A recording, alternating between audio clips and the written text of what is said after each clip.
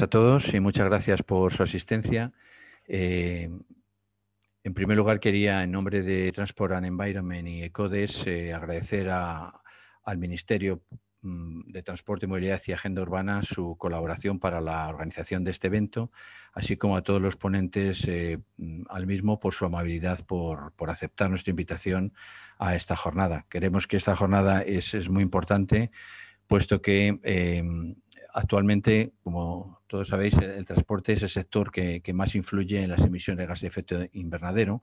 Según los datos del Ministerio para la Transición Ecológica, eh, el, año 2019, antes de la pandemia, en la pandemia pues los datos cambiarán, pero se supone que volverá luego a la, situación eh, eh, anterior, pero en el 2019 supuso un 29% del total de las emisiones de gases de efecto invernadero en términos de CO2 equivalente.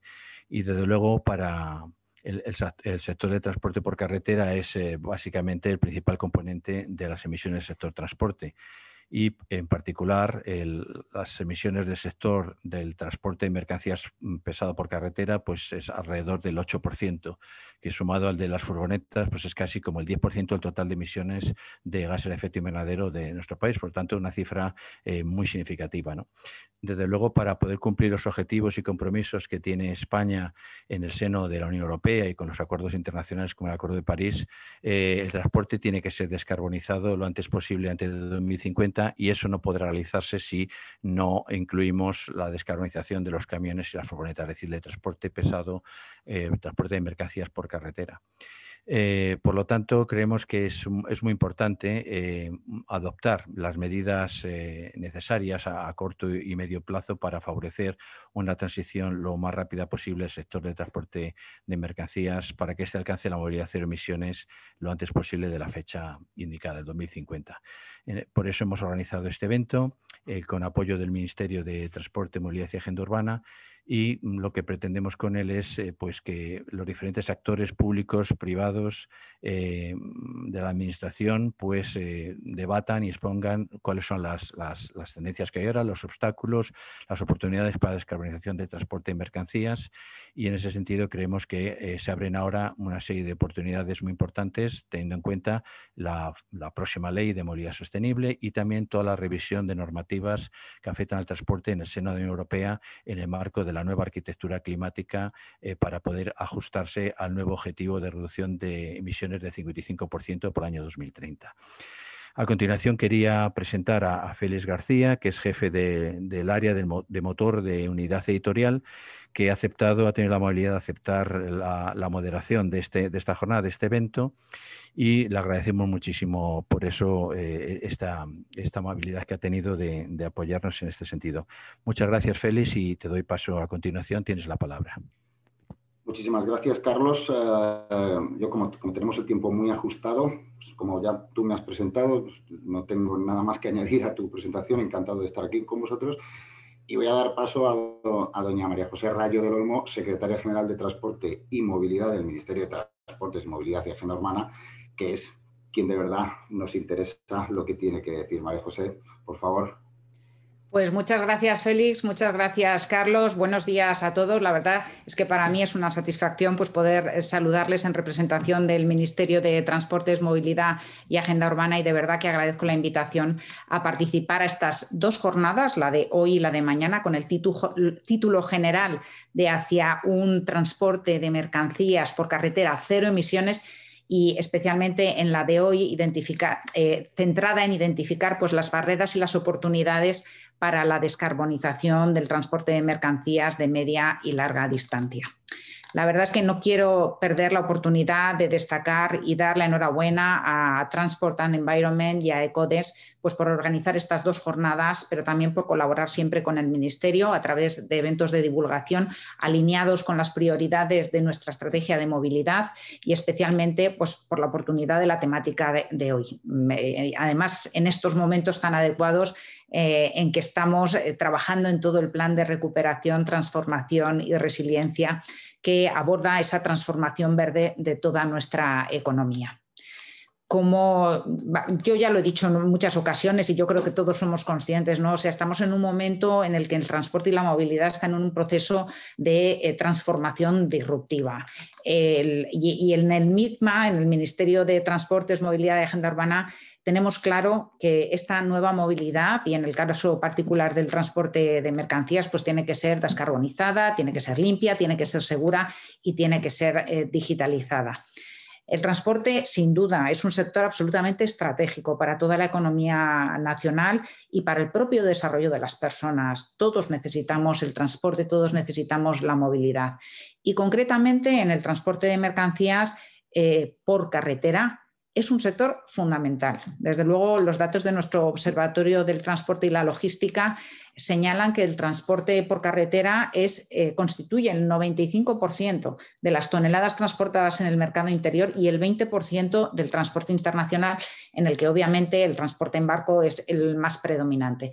Pero estas cifras lo que demuestran es eh, que estamos en un eh, modo de transporte y una especialidad como transporte de mercancías por carretera, pues de una grandísima relevancia tanto para el abastecimiento, la distribución de mercancías y desde luego como parte de la cadena logística. Y es un sector fundamental y es que lo va a continuar siendo. O sea, mm, de acuerdo con las políticas europeas, dentro del Ministerio vamos a hacer un esfuerzo importante por incrementar la cuota del transporte ferroviario de mercancías. Pero no nos engañemos, el transporte por carretera va a continuar siendo la forma, el modo más importante de transporte para las mercancías. Eh, pero también, y lo ha comentado Carlos, el, sector eh, tiene importantes retos por delante. Y hoy por hoy, también lo decía él, pues el transporte pesado de mercancías supone en total el 8% de las emisiones eh, toneladas equivalentes de gases de efecto invernadero y tenemos asumidos como país unos eh, objetivos establecidos en el PENIEC, en el Plan Nacional Integrado de Energía y, Clima para el 2030 y en la Estrategia de Descarbonización a Largo Plazo para el 2050. Y son objetivos que tenemos que cumplir. Eh, desde luego, no podemos plantearnos desde la Administración otro escenario que cumplir esos objetivos. De aquí a 2030, en el transporte en general, eh, tenemos que ser capaces de reducir a un tercio las emisiones respecto a la situación del año de referencia y en la estrategia de descarbonización a largo plazo, lo que se prevé es que el transporte en el año 2050 suponga una pequeña contribución a esos gases de efecto invernadero. En concreto, pues dos millones de toneladas equivalentes frente a las 87 millones de toneladas equivalentes eh, que, ha tenido en el año 2020. En suma, el eh, transporte por carretera eh, en general y concretamente el transporte de mercancías deben contribuir eh, significativamente a la consecución de estos objetivos y teniendo en cuenta también que es que eh, lamentablemente el transporte es el único sector que ha aumentado sus emisiones desde el año 1990. Eh, tenemos de verdad un reto importante por delante. Pero la verdad es que el sector no solo tiene retos ambientales, sino que también tiene por delante retos de tipo sociolaboral y retos de tipo económico. Y desde el Ministerio, pues en muchísimas ocasiones hemos reiterado al sector nuestro compromiso firme para conjuntamente el sector, agentes implicados y, administración, abordar estos retos con el objetivo de fortalecer el sector. Y por ello, dentro de nuestra estrategia de movilidad, la estrategia de movilidad segura, sostenible y conectada, que es el pilar, es la visión de la actividad de nuestro ministerio para los próximos 10 años, hemos incluido eh, una medida específica que es eh, la implantación de un plan para la sostenibilidad del transporte de mercancías por carretera. Y esa sostenibilidad la entendemos en la triple perspectiva, en la perspectiva ambiental, en la perspectiva económica y en la perspectiva social. Pero desde luego, avanzar hacia un transporte pesado, cero emisiones, va a ser una línea en la que haya que trabajar de manera intensa. Pero además, bueno, pues tenemos mm, la posibilidad, digamos, la oportunidad de aprovechar el plan de recuperación eh, de los fondos del eh, Next Generation EU, pues para eh, abordar y la transformación de toda la movilidad del transporte de una manera intensa poder acceder a una cantidad de fondos y recursos públicos desde luego sin precedentes y que nos va a permitir que el proceso se acelere al máximo. gracias a este plan, lo que vamos a hacer es, de alguna manera, pues, facilitar esas inversiones para esa transformación verde y digital y estamos convencidos de que eh, como parte de ese plan de sostenibilidad del transporte de mercancías por carreteras, a que me refería, que es un plan que hay que entender como un todo, que hay que abordar conjuntamente, pues también podremos incluir un importante paquete de ayudas para renovación de flotas, para implantación de puntos de recarga de energías alternativas, para digitalización del sector y para construcción de aparcamientos seguros. El plan está en un proceso de, eh, bueno, de, toma de contacto con el sector y desde luego a mí me gustaría que pudiéramos culminarlo y poder implantar todo ese paquete. Y es que tenemos que tener en cuenta que la antigüedad media del parque español de vehículos industriales y pesados es bastante superior a la media europea. Estamos en 15 años eh, de media, si no se consideran los que tienen más de 30 años, mientras que la media europea está en 12,4 años y el sector pues, ha de incorporar pues, paulatinamente pues, vehículos y fuentes de energía más eficientes, menos contaminantes y otros avances tecnológicos pues, que participen en la mejora de la logística y el uso eficiente de los eh, medios de transporte. En suma, necesitamos monitorizar la oferta tecnológica de vehículos nuevos, su disponibilidad, su adecuación a la singularidad del transporte, a los distintos componentes, eh, para ir incorporando esas tecnologías tan rápido como sea pues, razonablemente posible. Eh, la propia estrategia para una movilidad eh, inteligente y sostenible de la Unión Europea ya, establece que este no será un proceso rápido. Mm, de, hecho, apuntan que hasta el año 2050 no habrá una presencia masiva de vehículos eh, pesados de mercancías, pues eh, eléctricos puros o eléctricos con pila de combustible y concretamente de hidrógeno. Eh, en el caso de autobuses quizá un, poquito mayor, pero somos conscientes de que en el estado actual de la técnica, pues hasta el 2030 lo que podremos tener es haber dado los primeros pasos para conseguir un número significativo de camiones eléctricos y o de hidrógeno en nuestro parque eh, de vehículos de transporte pesado de mercancías. Eh, bueno, también se observan algunos avances prometedores en cuanto a electrificación eh, bueno, estamos viendo que la oferta comercial poco a poco va aumentando. Parece que los primeros eh, ámbitos son los de gestión de residuos, limpieza de calles, pero también, bueno, pues para la distribución urbana de mercancías, vehículos eh, ligeros, furgonetas, y es posible o esperamos que en el plazo de 10 años pues ya haya una oferta mucho más amplia de vehículos que se puedan ir incorporando al, parque, pues para que su penetración sea, bueno, lo más intensa posible, que, tiene que ir acompañada, por supuesto, por una, digamos, eh, eh, implantación masiva de puntos de recarga para estas energías alternativas.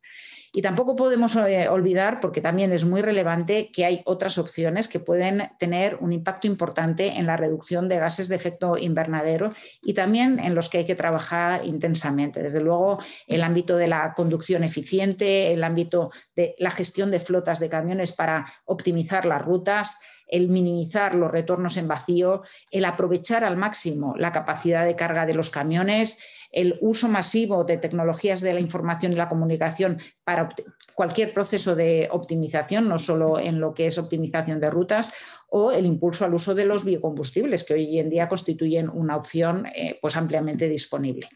Todos estos campos tienen campos de mejora, hay que seguir estudiando, hay que seguir trabajando en pro de esa visión de futuro de alcanzar un transporte de mercancías por carretera de cero emisiones. Bueno, es que estamos ante un reto tecnológico, estamos ante un reto también económico y estoy segura de que eh, con todos los participantes del ecosistema, dicho de la manera más amplia posible de lo que es el transporte de mercancías por carretera, pues podremos abordarlo con éxito.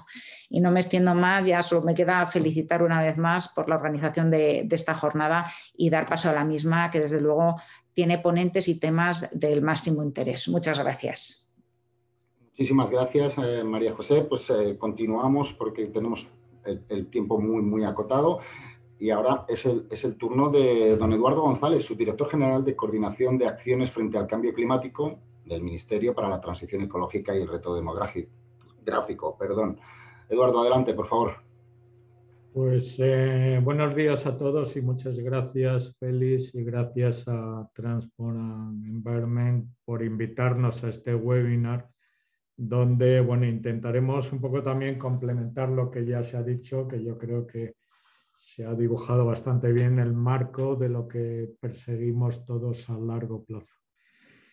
Eh, la primera observación es que, bueno, desgraciadamente el sector del transporte es un sector muy acoplado a la actividad económica y en este sentido mm, podemos ver que, cualquier decrecimiento o crecimiento del PIB tiene un impacto directo en, en las emisiones. Estamos hablando de que la movilidad del transporte mueve alrededor de, en el entorno a los 80 millones de toneladas de CO2 equivalente, de los cuales pues alrededor de 20, un poco más de 20 millones son procedentes de vehículos pesados y en el resto están los turismos y las furgonetas que también tienen un papel en esto que estamos hablando. Desde luego hay que potenciar todas las opciones de eficiencia, las tecnológicas, y, de cambio de, vector energético para tratar de reducir estas emisiones. Y en este sentido, pues hay instrumentos, sobre todo instrumentos regulatorios de ámbito europeo, que yo entiendo que son muy potentes y que son los que habrá que, aprovechar al máximo para también buscar un, digamos, una transformación eh, armonizada a nivel europeo. Yo creo que es importante mencionar el reglamento de CO2 que afecta tanto a turismos como a vehículos comerciales como a camiones y que ya tiene objetivos a 2030 para reducir en más de un 30% las, las, emisiones. Tenemos la, la, directiva también de energías renovables que tiene obligaciones en cuanto a la introducción de, de energía renovable en el transporte. ¿eh? Actualmente tenemos un objetivo de un 14% en 2030 que se puede cumplir eh, de diferentes maneras, si bien la manera tradicional con la que comenzó esta directiva y, esta, y este objetivo en transporte era a través de los biocombustibles, pero los problemas que ha habido en, cuanto a efectos indirectos de cambio de usos del suelo y, de competencia con alimentos, pues los bios procedentes de, materias primas que pueden ser alimentos están limitados y van a ser objeto de, de una senda decreciente que tiene que ser sustituida por otros, otras materias primas que no tengan estos problemas. Aquí tenemos eh, como un vector eh, importante el, eléctrico, es decir, el desarrollo de la movilidad con, motores eléctricos es una magnífica oportunidad porque, eh, al contrario que los bios que no resuelven el problema de otras emisiones contaminantes, pues tanto si nos vamos al vector eléctrico como al vector del hidrógeno, eliminamos dos problemas eh, con la misma solución. Con lo cual eh, yo creo que estas directivas se van a reformular con el aumento del objetivo europeo del 40 al 55% y veremos si hay propuestas para que estos reglamentos y directivas pues, puedan aumentar eh, el nivel de ambición.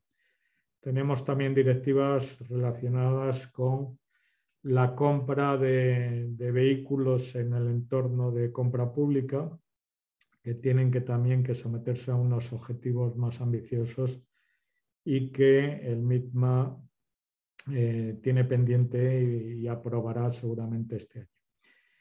Yo me gustaría concluir un poco mencionando eh, la ley de, cambio climático recientemente aprobada y que tiene eh, unos artículos muy dirigidos al, tema que nos ocupa. ¿eh? Primero, recordar que esta ley establece el PENIEC, el Plan Nacional Integrado de Energía y Clima, como el marco de, planificación obligatorio y que tiene que ser revisado cada cinco años y, el actual PENIEC ya tiene, digamos, eh, eh, incluidas eh, objetivos bastante ambiciosos en cuanto a, la penetración de vehículos eléctricos y a la reducción de, de, ciertos o cambio de ciertos modos de transporte por otros. Tiene una componente para, para el desarrollo de zonas de bajas emisiones en poblaciones de más de 50.000 habitantes, que pueden ser 20.000 habitantes si tienen problemas de, contaminación y que tendrán que establecerse en el entorno urbano pues, eh, antes o durante el 2023. Contiene también una mención muy clara que es eh, en el caso del transporte a los vehículos, a los turismos o comerciales ligeros, de eliminar las ventas de, vehículos con motor de combustión que tengan emisiones de CO2 por su tubo de escape. Hay una clara mención y yo lo destacaría como, muy explícita al desarrollo de puntos de recarga eléctrico ligados a los operadores que ahora mismo venden gasolina y en función de su volumen tendrán la obligación de instalar puntos de recarga de determinadas potencias. Y esto va a ser un tema clave para el desarrollo del transporte en modalidad eléctrica. Y luego hay una disposición adicional sobre un tema muy importante, que es el fomento del tren como alternativa clara, sobre todo para distancias largas, distancias mayores de 300 kilómetros, que en España pues, está muy por debajo de, la media europea. Y esto sin olvidar lo que ya nos ha comentado la secretaria general del proyecto de ley de movilidad sostenible, pues entendemos que ya va a crear un marco muy enfocado y muy dirigido hacia un cambio radical del transporte hacia, hacia el reto que tenemos a 2050, que es un transporte con muy pocas o nulas emisiones de CO2. Y, nada más. ¿eh? Y, felicitaros por, la, por el webinar y, que esperamos que salgan de aquí propuestas que nos puedan servir a todos un poco de guía para, para el desarrollo de políticas y medidas. Gracias. Muchísimas gracias, Eduardo. Eh, ahora continuamos eh, con don Jaime Moreno García Cano, director general de Transporte Terrestre del Ministerio de Transportes, Movilidad y Agenda, Urbana. Jaime, adelante tu, turno. Muchas gracias, Félix. Y lo primero, bueno, pues felicitar a, a Transport and Environment y a ECODES por la celebración de esta jornada. Yo creo que es, es del todo pertinente. Eh, el transporte de, mercancías por carretera, yo creo que se ha hecho antes por parte de la Secretaría General de Transportes, es clave para la actividad económica de todo el país y, sin él el resto de actividades no se pueden producir. Por tanto, lo primero eh, yo creo que tener un, debate y, hablar sobre cómo descarbonizar el transporte de mercancías por carretera, yo creo que es, fundamental. Eh, yo creo que todos compartimos eh, los objetivos en cuanto a, esa descarbonización necesaria, por los, tanto por los acuerdos globales, desde el Acuerdo de París hasta el Plan Nacional de, Energía Clima que, se comentaba anteriormente, las, las zonas de bajas emisiones. Al final, yo creo que existe eh, regulación tanto a nivel global como a nivel local que, nos invita y que nos empuja a esa necesaria descarbonización que, es por todos compartida. Pero sin duda que, cuando llegamos al transporte de cargas por mercancías, sabiendo que es una actividad esencial, que, es un sector fundamental para que, para que todo se, produzca con normalidad y así además, ¿no? yo creo que aprovecho también para hacer un reconocimiento al sector que durante esta pandemia yo creo que todos hemos sido conscientes de lo importante que es eh, este sector, ¿no? que a veces es, un sector transparente, pero que eh, es necesario para que todo funcione. Entonces, yo creo que es muy importante cómo abordar esa descarbonización en un sector tan, tan importante y tan trascendental como es el transporte por mercancías, en el que seguramente también las, las herramientas o los medios que tenemos para el vehículo ligero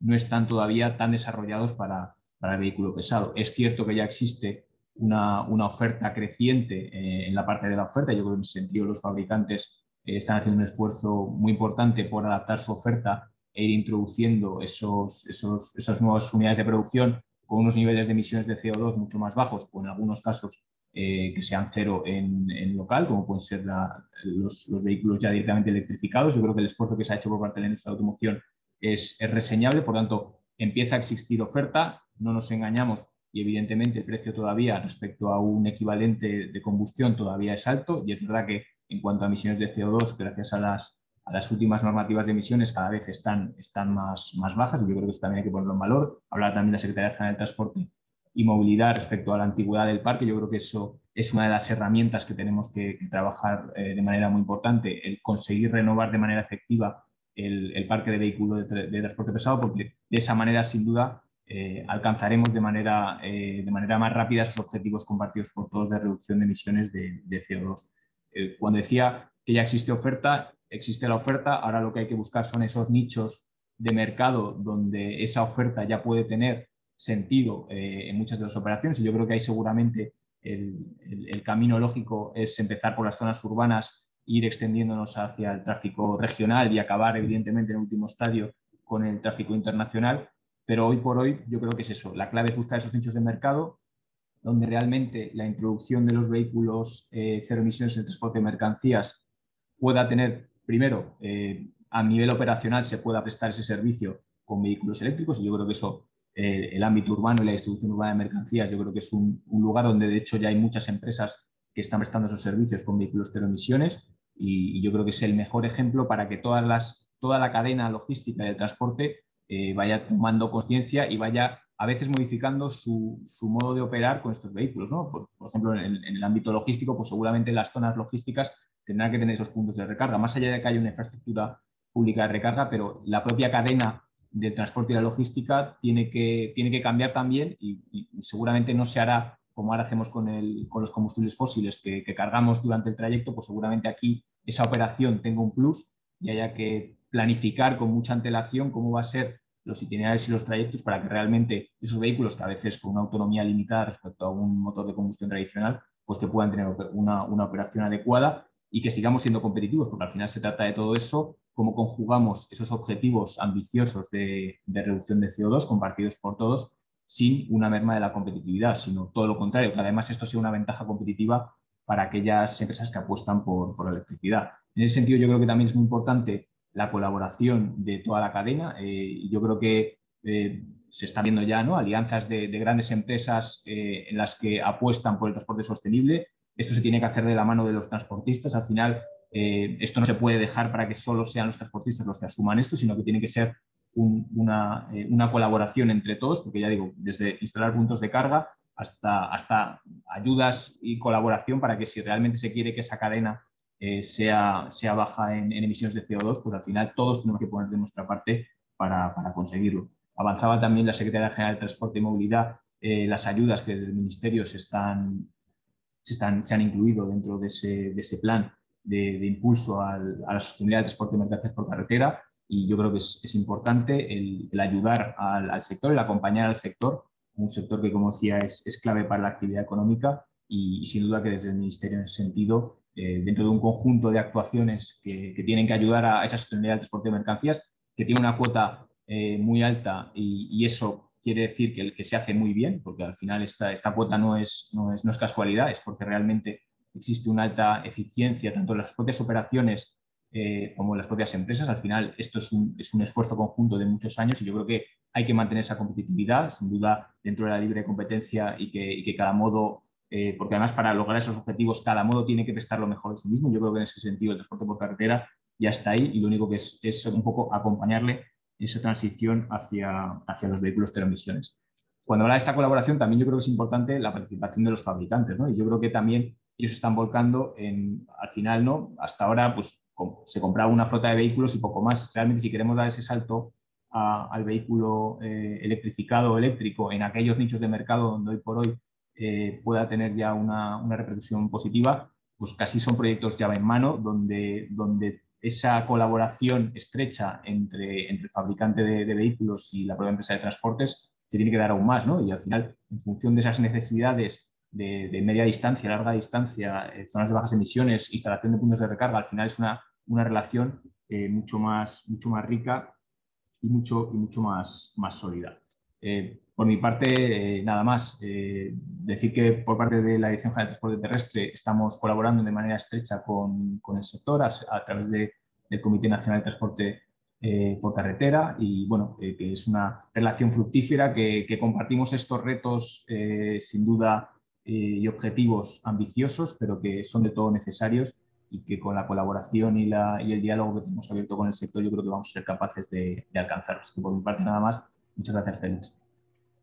Eh, muchísimas gracias eh, Jaime. Pues continuamos con, con, la jornada y damos paso a la primera mesa redonda en la que vamos a tener tres ponentes. Por un lado, Joaquín Chacón, consejero delegado de Albufera Energy Storage Carlos Medina Rodríguez, jefe de unidad de aplicaciones del Centro Nacional de Hidrógeno, y Jerry Stump, Business Developer en Siemens Mobility.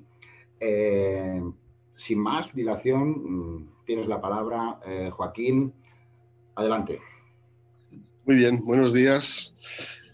Buenos días a todos y bueno, pues gracias por la invitación para participar en esta, en esta mesa redonda, en esta jornada del transporte por carretera, que evidentemente cuando hablamos de electrificación de grandes camiones a todos nos entra un poco el miedo de a ver qué baterías podemos poner ¿no? para, para, este tipo de, de, aplicaciones. Es decir, como bien dijo a primera hora María José Rayo, que ya se han electrificado camiones en, en algunas utilizaciones, como es el tema de la, por ejemplo, la recogida de residuos urbanos en algunas de las ciudades españolas de las grandes ciudades españolas y por tanto no es algo que nos resulte novedoso al sector de las baterías, que nos resulte totalmente desconocido. Lo que ocurre es que sí que somos conscientes de que nos queda un reto importante que, conseguir en la mejora de las prestaciones de las baterías. Y no solamente en la mejora de las prestaciones, porque entendemos que, la batería que puede ser aplicable para este tipo de, vehículos debe cumplir tres grandes retos. Eh, o tres grandes características que combinadas entre sí con un buen balance pueden proporcionar el, producto adecuado para que esto del transporte con camiones eléctricos sea una realidad. Y son eh, bueno, pues características relacionadas con las prestaciones, con el coste y con la sostenibilidad. estos tres parámetros eh, nos van a dar eh, la pista de cuál puede ser la batería más adecuada para su utilización en el transporte por carretera en el futuro. También, y utilizando otro dato que ha dado eh, María José Rayo esta mañana, es cierto que el sector de las baterías eh, se ha marcado como objetivo eh, hace dos años, ah, bueno, ya tres, en el 2018, el conseguir que estas nuevas baterías capaces de cumplir todos los requerimientos que tenemos de este, de este sector empiecen a aparecer como producto comercial real en el, alrededor del año 2030. Es decir, marcando un poco fechas, estamos hablando de empezar a tener los primeros prototipos alrededor del año 2025 con el objetivo de tener ya esos primeros productos comerciales en el año 2030. Y esto es así y mucha gente puede pensar que es demasiado tiempo, pero es así y, quiero lanzar solamente un par de, un par de datos y, decir que todos sabéis que, las baterías de litio-ion, que son las baterías que actualmente se utilizan de, manera masiva en, los vehículos eléctricos, recibieron el, el premio Nobel en el año 2019. Pero eh, no solamente eso, no sé si muchos de vosotros sabéis que tardaron 20 años desde que se patentaron en el año 1978 hasta que empezamos a ver las primeras pilas de litio-ion para teléfonos móviles y algunos dispositivos electrónicos en el año 1998 aproximadamente. Es decir, necesitamos periodos de desarrollo largos para este tipo de productos. Y también decir que las baterías eh, no han recibido mucha atención a nivel de desarrollo en investigación y desarrollo durante todo el siglo XX y comienzos de, bueno, pues de este siglo XXI, y que realmente, y aquí me refiero especialmente a Europa, es solamente desde hace unos 7, 8 años cuando se ha empezado a hablar de la importancia de las baterías en todo lo relacionado con, con energía y clima. Y, bueno, pues la necesidad de explorar y de, desarrollar y de invertir en nuevos eh, sistemas de baterías para cumplir los objetivos del futuro en cuanto a cambio climático y todo lo relacionado y todo lo que se desprende de este gran tema. Eh, hablaba de, bueno, pues del litio-ion y hablaba de, la importancia que tiene este sistema en la actualidad. Em, en este sentido, y metiéndome un poco en, la parte más tecnológica de las baterías, eh, deciros que, hay como dos grandes líneas de desarrollo para esa batería del futuro, para esa batería que cumpla los requerimientos del transporte por carretera. Eh, una de las primeras líneas de trabajo es el desarrollo de nuevos materiales para la batería de litio-ion que ya conocemos hoy en día. La batería de litio-ion actual tiene una serie de limitaciones y no me voy a meter en el tema de que solamente se fabrica en Asia o que el 90% de las baterías se fabrican en Asia y que tenemos esa gran dependencia que tenemos de, la región asiática, pues hace a Europa eh, ser más débil frente a posibles desarrollos y frente a posibles, eh, vamos a decir, pues, pues, nuevos eh, retos, eh, alcanzar nuevos retos en, todo este campo. Pero sí que es cierto que bueno, pues, desde hace un par de años se ha tomado la iniciativa en Europa de comenzar a trabajar en firme en el desarrollo no solamente de la parte de nuevos materiales, sino también en la parte concreta de fabricación en nuestro continente de baterías de litio-ion, que tienen básicamente dos, dos caminos de desarrollo. Porque no nos olvidemos que para conseguir una batería que cumpla los requerimientos para el sector de transporte, necesitamos avanzar hacia dos objetivos. Uno es incrementar la energía específica de las baterías, es decir, ser capaces de almacenar mayor cantidad de energía por unidad de peso y volumen. Y el segundo es reducir el coste de las baterías. Yo diría que como objetivo más o menos aceptado por diferentes grupos eh, dentro del mundo de las baterías, estaríamos hablando de alcanzar cifras de energía específica superiores a los 750 vatios hora por kilogramo y de alcanzar precios de baterías por debajo de los 200 euros el, kilovatio hora. Para ello, y como estaba comentando, en el caso del litio-ion, lo que tenemos, hay varias líneas de trabajo, pero fundamentalmente eh, todas ellas van encaminadas a incrementar la cantidad de, energía que podemos almacenar por unidad de peso y volumen. En ese sentido, eh, se está trabajando, por ejemplo, con electrodos positivos que permitan trabajar con pilas de un mayor voltaje. Estamos hablando de posibles pilas de 5 o 6 voltios en lugar de los 3,7 actuales o 3,6, 3,7 actuales esto eh, ya existe a nivel de laboratorio, lo que nos haría prácticamente duplicar la energía específica del litio-ion, que hoy en día está en el mejor de los casos en torno a 200, 250 vatios hora por kilogramo. Nos haría duplicar eso, pero aún tenemos que trabajar, por ejemplo, en la estabilidad de los electrolitos de estas baterías.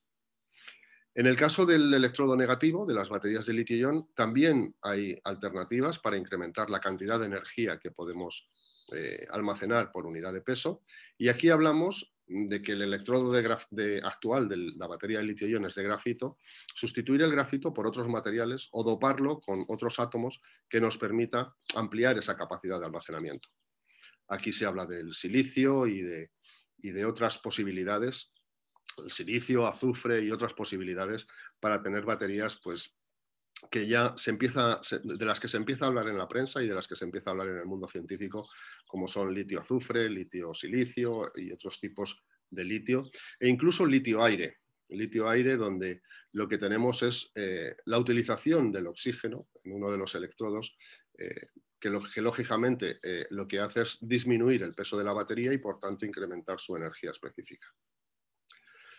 Esto para el caso del litio, que como todos sabemos es el elemento del sistema periódico que tiene una mayor capacidad de almacenamiento por unidad de peso. Pero eh, el litio tiene sus retos también, tiene sus eh, circunstancias de funcionamiento, entre las cuales pues, la más significativa es que es un metal muy reactivo con la humedad y con el, y con el entorno, y por lo tanto necesitamos una electrónica que controle que todo eso funciona muy bien. Eh, la electrónica es conocida, eh, no representa ningún reto tecnológico, pero sí que es cierto que añade un coste extra a la batería que mm, no nos podemos permitir. Y por lo tanto, hay una segunda línea de investigación en Europa que comenzó con la iniciativa Battery 2030 en el año 2018, que consiste básicamente en definir nuevos materiales, nuevos elementos para comenzar a desarrollar una batería fuera de lo que es toda la industria del litio que, mm, aparte de sus eh, cuestiones, vamos a decir, más tecnológicas, representa también un reto muchas veces en cuanto a al acceso a, los diferentes, a las diferentes materias primas en diferentes partes del mundo. Aquí hay diferentes iniciativas, algunas relacionadas con el metal zinc, que ya la batería de zinc aire se conoce desde comienzos del siglo XX, eh, la batería de aluminio aire, que se conoce también desde los años 30, también se habla de baterías de sodio, baterías de calcio, en fin, se abre un campo enorme de desarrollo de nuevos sistemas e insisto, muy encaminados a conseguir un coste adecuado, un coste por debajo de los 200 euros por kilovatio hora, conseguir eh, elementos mm, de una sostenibilidad eh, muy contrastada. No hablamos, cuando hablamos de sostenibilidad, no hablamos solamente de temas medioambientales, del, contacto con el ser humano, ni de la reciclabilidad. Hablamos también de la sostenibilidad en cuanto a acceso a las materias primas, en cuanto a emisiones, en cuanto a todo lo que repercute en la cadena completa de la cadena de valor de la producción de las baterías, desde la minería hasta los procesos de reciclado o de reutilización en segunda vida, como también eh, sabéis que se está hablando mucho últimamente. Bien, esto con respecto a la parte tecnológica. Creo que me queda un minuto para hablar de otra parte que considero importante. Ha salido el tema de las infraestructuras de recarga. Aquí podríamos hablar de, aparte de la parte tecnológica, de implantar modelos que nos permitan hacer más rentable el transporte por carretera con camiones eléctricos y podríamos analizar modelos de recargas rápidas o modelos incluso de lo que se denomina battery swapping, que consiste en llegar con una batería descargada y sustituirla mecánicamente, físicamente por otra batería cargada en estaciones donde tengamos este tipo de sistemas.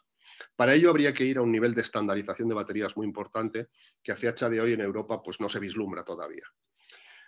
Y por último, hablar de posibles, diferentes modelos de negocio que en el terreno de las baterías hasta ahora no se han explorado, pero aquí hablamos de sistemas de renting de baterías, lo que podrían ser muy adecuados para un sector como este. Podríamos hablar de sistemas de baterías a service, es decir, no vender la batería, sino vender la energía necesaria para mover el, el camión y vincular este coste, que sería un coste directo, con, el, con la facturación que tenga ese servicio de transporte e incluso de modelos de economía circular. Si somos capaces de diseñar baterías, y para eso existen las nuevas directivas europeas en ecodiseño, si fuéramos capaces de diseñar baterías capaces de tener una primera vida en un transporte y una segunda vida en una aplicación estacionaria, el coste de esa batería lo podríamos dividir en dos utilizaciones y por lo tanto bajaría mucho su coste y por lo tanto sería mucho más competitiva para ser utilizada en transporte. Y creo que nada más, y me, he pasado un minutillo, pero bueno, eh, muchas gracias otra vez y, nada, a vuestra disposición para cualquier cuestión que pueda surgir. Muchísimas gracias, Joaquín. Mm, te quería hacer una pregunta antes de pasar al siguiente ponente. Mm, ¿Cuándo podremos tener ese precio por debajo de 200 euros el kilovatio hora? ¿Y, ¿Y, cuándo se dará el salto a esa duplicidad en la capacidad que acabas de decir de 250 a 500? Hay un horizonte de más o menos donde ese coste pueda ser más bajo y ya permita una mayor sostenibilidad, como has explicado, o todavía no hay fecha? Mm, sí, ya empieza a haber fechas porque a nivel de laboratorio sí que ya tenemos eh, prototipos de baterías que, están cumpliendo estas, estas premisas de coste, sostenibilidad y prestaciones. Ya los tenemos. Entonces, ahora mismo en Europa eh, estamos hablando de años en números gordos estamos hablando de tener este tipo de prototipos para ya empezar a ensayar, certificar y validar en diferentes clientes de, transporte alrededor del año 2025, se habla entre el 2024 y 2027, y de empezar a tener los primeros productos comerciales ya validados, certificados en el 2030. Entonces, digamos que lo que se decía también a primera hora de empezar a ver los primeros modelos eh, eléctricos en funcionamiento, pues estaríamos hablando de finales de esta década. Y, además con bastante precisión. Ya llevamos unos años trabajando en el tema. En Europa se empieza a hablar de la era post-litio a partir del año 2012 y por lo tanto ya hay unos cuantos grupos de investigación y alguna que otra empresa que lleva ya cerca de 10 años trabajando en estos nuevos sistemas y que, bueno, que próximamente empezaremos a ver anuncios con todo el tema también de zonas de bajas emisiones, que entiendo que está en la jornada de mañana, habrá un despegue importante a partir del, 2023 en, en todo este sector. Y por lo tanto, el incremento de actividad impulsará a que todo vaya mucho más rápido. Muchísimas gracias, eh, Joaquín. Eh, Carlos Merino, eh, tu turno cuando, cuando quieras, desde el Centro Nacional de Hidrógeno. Tienes la palabra. Pues muchas gracias, Félix. Y bueno, muchas gracias a, la organización ¿no? por, dar esta oportunidad de participar en el evento y evidentemente de compartir con, con, gente, con, compañeros de, tanto nivel y, expertos en el área, en el tema. Eh, las presentaciones previas eh, han dejado de manifiesto un poco cuál es la motivación de, la jornada precisamente en cuanto a, los objetivos que hay que cumplir de reducción de, emisiones de gases de, efecto invernadero. Em, y un poco, pues ya se ha puesto patente cuál, es la necesidad y cuáles son los retos a, cumplir y sobre todo desde el punto de vista del transporte eh, por carretera, ¿no? Eh, pues eso, la, intensidad que tiene este sector en cuanto al consumo de energía, podríamos estar hablando en torno a, lo mejor a, un 30% de, de, las emisiones provienen del transporte. Entonces es un, es un sector pues, pues eso, que es un gran devorador de, energía y por tanto pues contribuye en gran medida por la tecnología actual que se está utilizando al tema de las emisiones. Bueno, ahora estamos viviendo precisamente desde el punto de vista del hidrógeno, que es el que eh, intento dar alguna pincelada en, esta presentación, em, pues está viviendo lo que se llama el, momento del hidrógeno, ¿no? el hydrogen momentum, que viene un poco derivado precisamente por este cambio tecnológico porque va mucho más allá, no solamente un cambio de tecnología lo que hay que hacer para conseguir un transporte sostenible, esto es todo mucho más amplio, pero la, tecnología precisamente es una de las piezas claves. Bueno, pues se habla precisamente de este, de este momento del hidrógeno, precisamente porque también facilita eh, la integración de las energías renovables. El hidrógeno es un vector energético, eh, esto significa que no es una fuente de energía primaria, es necesario producirlo, entonces no vamos a encontrar en la naturaleza pues, un yacimiento o una mina de hidrógeno, sino que lo ocurre igual que a la electricidad, es necesario producirlo. Bueno, pues precisamente también desde el punto de vista de generación de la energía, ¿no? pues hay eh, grandes retos y hay objetivos para la descarbonización. Y ello lleva a como consecuencia pues, que cada vez en los sistemas de energía eléctrica hay que hacer una mayor integración de energías renovables. Bueno, pues el hidrógeno precisamente también facilita esa integración de, la, de energías renovables. Es un facilitador precisamente porque es un sistema de almacenamiento de energía. Entonces, bueno, precisamente, es, eh, eh, por así decirlo, pues todo empieza a encajar ¿no? y es por lo, que, por lo que tiene sentido. También facilita la descarbonización de otros sectores, no solamente del, transporte, sino de la industria, porque también es materia prima para, para, determinadas industrias, como puede ser la del acero o la de, o la de los em, eh, fertilizantes. Entonces, bueno, pues también es facilitador de, la reducción de emisiones en, en, otros sectores, en la industria. Entonces vemos que es un poco, pues, de manera global, eh, pues es una tecnología que, cuadra bien. Evidentemente, eh, a mí me gusta decirlo, ni todo blanco ni todo negro, eh, convivirá con otro tipo de tecnologías y entre todas, bueno, pues lo que pretendemos es conseguir este estos, estos objetivos. Em, ¿Qué ventajas tiene? No? Pues ya avanzaba ¿no? por el tema de las emisiones. Si ya nos centramos más en lo que sería el transporte, el uso del hidrógeno en transporte, eh, el, uso de, eh, eh, el, uso de, pila de combustible es un vehículo o genera un vehículo que es cero emisiones localizadas. si lo acompañamos precisamente de esta estrategia de producción de hidrógeno, que es a partir de energías renovables, pues nos dará como resultado pues, ese cómputo global ¿no? de lo que sería del, llevando o utilizando la, analogía que se ha venido haciendo ¿no? del tanque a la rueda, o del pozo a la rueda, si ya consideramos el, ciclo completo, eh, pues de emisiones eh, netas eh, cero. Entonces, bueno, pues eso nos da lugar a esta producción de hidrógeno renovable em, que está teniendo también pues, mucho impulso ¿no? y cada vez más, como luego veremos al final, pues ofrece una serie de oportunidades también para nuestro caso, para, para España. Em, ya avanzaba que era el tema de las emisiones nos va a permitir que no dependamos de un combustible que sea importado, mm, como se puede producir a partir de energías renovables, eh, y es el objetivo hacia donde va encaminado, eh, pues podemos ser nosotros nuestros propios productores de, combustible y eso pues tiene una serie de consideraciones, también una, serie de implicaciones a nivel de, economía global, eh, pues que también es muy interesante. Y luego también remarcaría, hay muchas ventajas, pero remarcaría también el rápido repostaje. Eh, bueno, el hidrógeno precisamente asemeja o, da unas em, eh, para el usuario es un poco similar a los combustibles tradicionales y los tiempos de repostaje bueno, pues están en, ese orden. Entonces, pues desde el punto de vista de la operativa y también para, el tema de transporte de mercancías por carretera, pues ofrece una, operativa muy similar. ¿En dónde lo podemos aplicar? Pues una de las ventajas también que tiene el uso del hidrógeno es que es muy escalable. Las pilas de combustible las podemos hacer desde un tamaño muy pequeñito a, un tamaño muy grande. Hay distintos tipos de tecnología de pilas de combustible eh, y, eso nos, permite que, podemos cubrir un gran abanico de aplicaciones.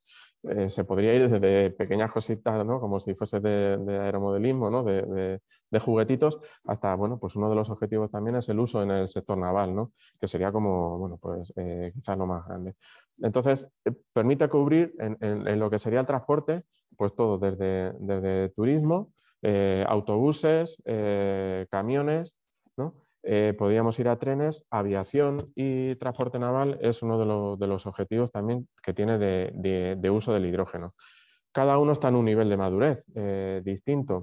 La tecnología es madura, pero las aplicaciones, pues cada una se han ido desarrollando de una manera eh, pues más escalonada, por así decirlo. Podríamos decir que, tenemos el, uso del, hidrógeno en turismos, podríamos decir que es, maduro y de hecho ya contamos con, con fabricantes que ponen en el mercado vehículos de, de, una manera comercial, no se trata de prototipos, ¿no? Entonces en turismo, bueno, pues tenemos de momento pocos, pero eh, las previsiones es que cada vez esto vaya creciendo, pues tenemos ya vehículos disponibles. Eh, en el caso de autobuses, esto también tiene mayor difusión y, también para el caso de, transporte por carretera de camiones, bueno, pues cada vez más y, recientemente, bueno, vemos eh, de, manera continua pues grandes anuncios precisamente de lo que ya se ha avanzado, de coaliciones de fabricantes pues para conseguir y, por, y, porque apuestan de que esto también es una, de las piezas para la descarbonización del sector transporte.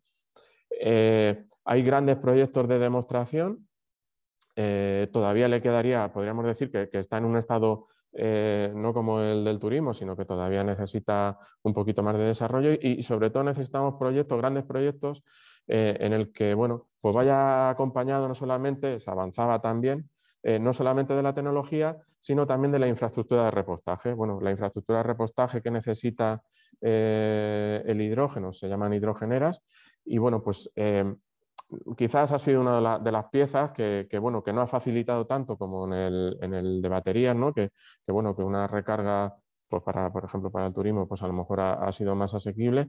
pero bueno, entonces se necesita una infraestructura de repostaje que, que, que dé cobertura pues también a estos despliegues. Entonces, pues tiene que ir acompañado. Eh, estamos, podríamos decir que, estamos en, una posición buena. Eh, España cuenta con, una hoja de ruta para el despliegue de la tecnología del hidrógeno, afronta todos estos temas eh, y bueno, pues un poco va en la línea de, las economías, del resto de economías europeas y de, y de economías mundiales. Entonces, bueno, se han fijado una serie de objetivos a 2030 para cumplir y que en cuanto al, tema del transporte, pues habla de, poner en la, calle en torno a 5.000, 7.500 eh, vehículos de hidrógeno, entre los que están los, vehículos de, mercancías. Em, también habla de, la implantación de autobuses, en torno a 150, 200 eh, autobuses, eh, proyectos también que vayan encaminados a trenes de hidrógeno, eh, en donde bueno, pues también tiene una serie de consideraciones de ventaja frente a las tecnologías ya existentes. Eh, y bueno, todo eso acompañado también del despliegue de infraestructura de repostaje. Por lo tanto, un poco la tecnología presenta eh, oportunidades. estamos en un punto en el que, para el caso de España, pues tiene una serie de oportunidades, mm, un poco por remarcar o por recordar en cuanto a, fabricantes, en el, caso de Europa ocuparíamos el, segundo, la segunda posición en cuanto a fabricantes de vehículos y, tenemos una buena posición en, el ranking mundial.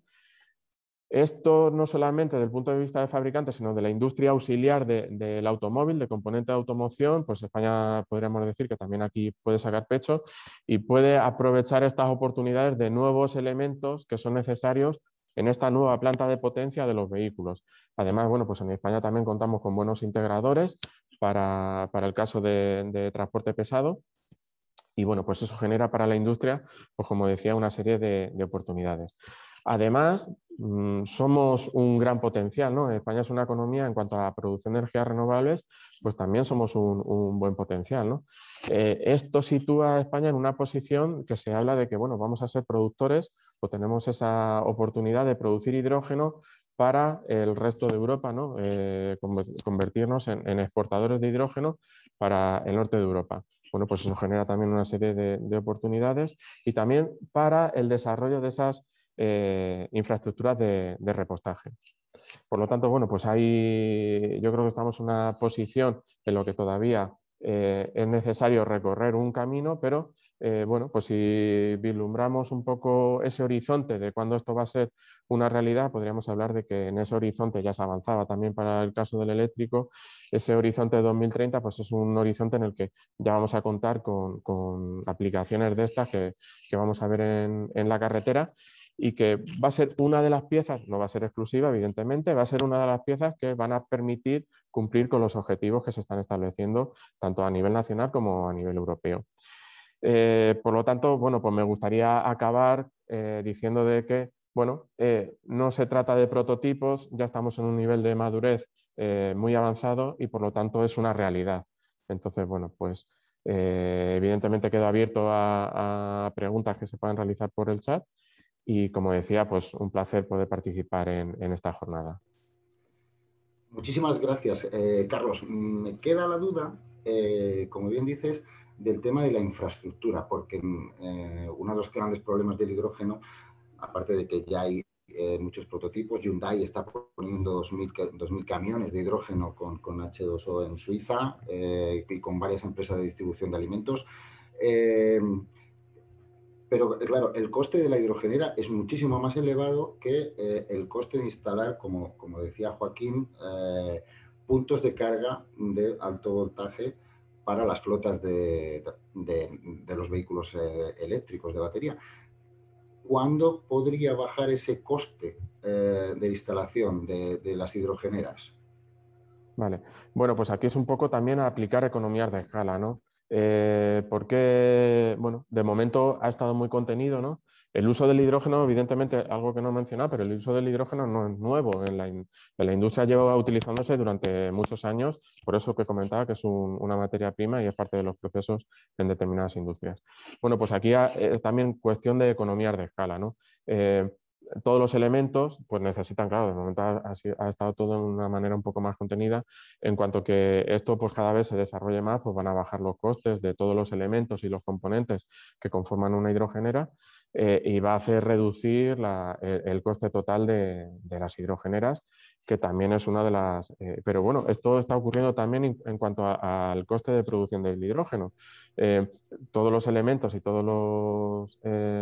pues eso, electrolizadores y todos los elementos que, son necesarios poner en juego, pues también hay una proyección de, de, una bajada, la verdad que muy considerable de reducción de precios y que precisamente, bueno, pues todos los estudios hacen eh, eh, no solamente desde, que, desde el punto de vista de que haya disponibilidad de fabricantes, sino también de, lo que sería la eh, evaluación técnica, y, o sea, la evaluación económica o lo que sería el, TCO de, de este tipo de sistemas que lo hagan viable y precisamente se, se encuadran dentro de este marco temporal de antes de que acabe la década para el caso concreto de, transporte por de, mercancías por carretera, van a eh, tener ese cruce que se habla con otro tipo de tecnología, como es el caso de la combustión.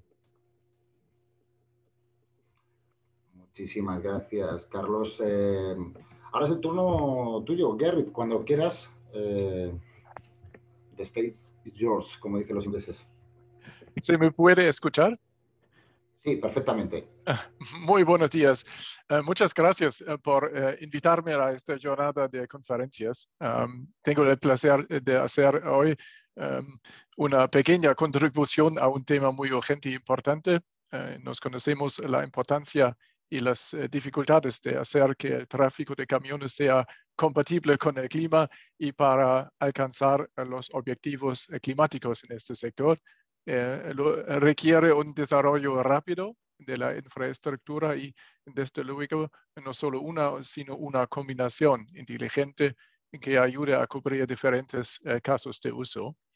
Y eh, hoy me gustaría presentarles eh, una de estas posibles soluciones en el poco tiempo disponible.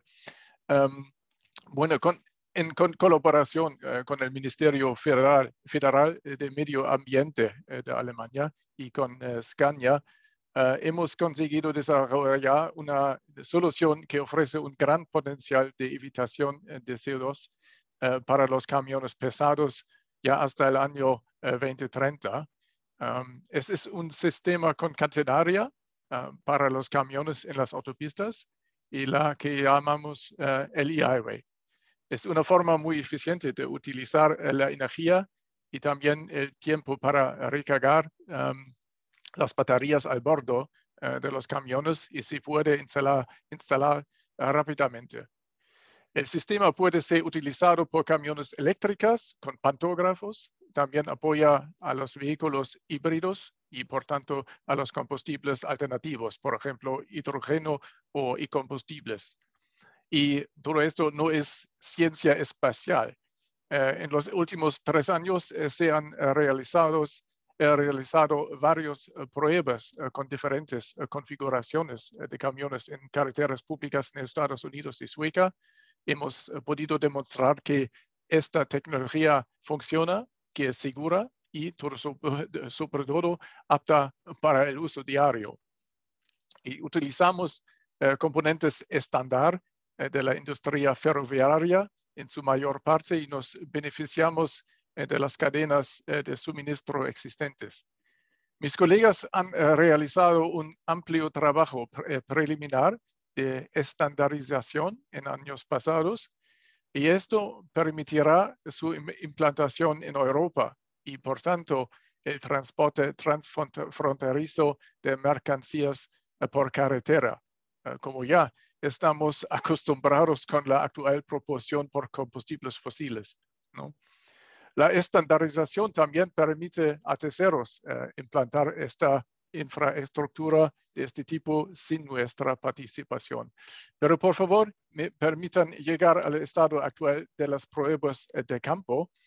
La primera de las tres um, pruebas de campo concatenaria comenzó en mayo eh, de 2019. Hemos instalado una catenaria de 5 kilómetros de longitud en ambos lados y uh, la hemos Eh, conectado a la red eléctrica. Pudimos completar toda la construcción en solo nueve meses y el tráfico en curso prácticamente no se vio afectado.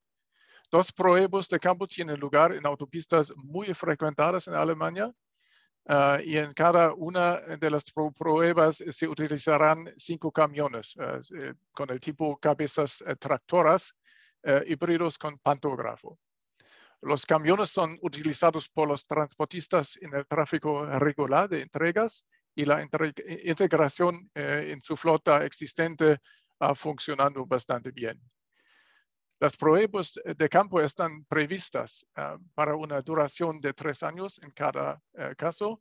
Solo en el caso del proyecto ELISA cerca de Frankfurt habrá una extensión de tiempo y también una eh, relacionada con la longitud de la ruta en breve se construirán eh, otros 8 kilómetros de catenaria, vía única, y se añadirán otros 8 camiones con pantógrafos.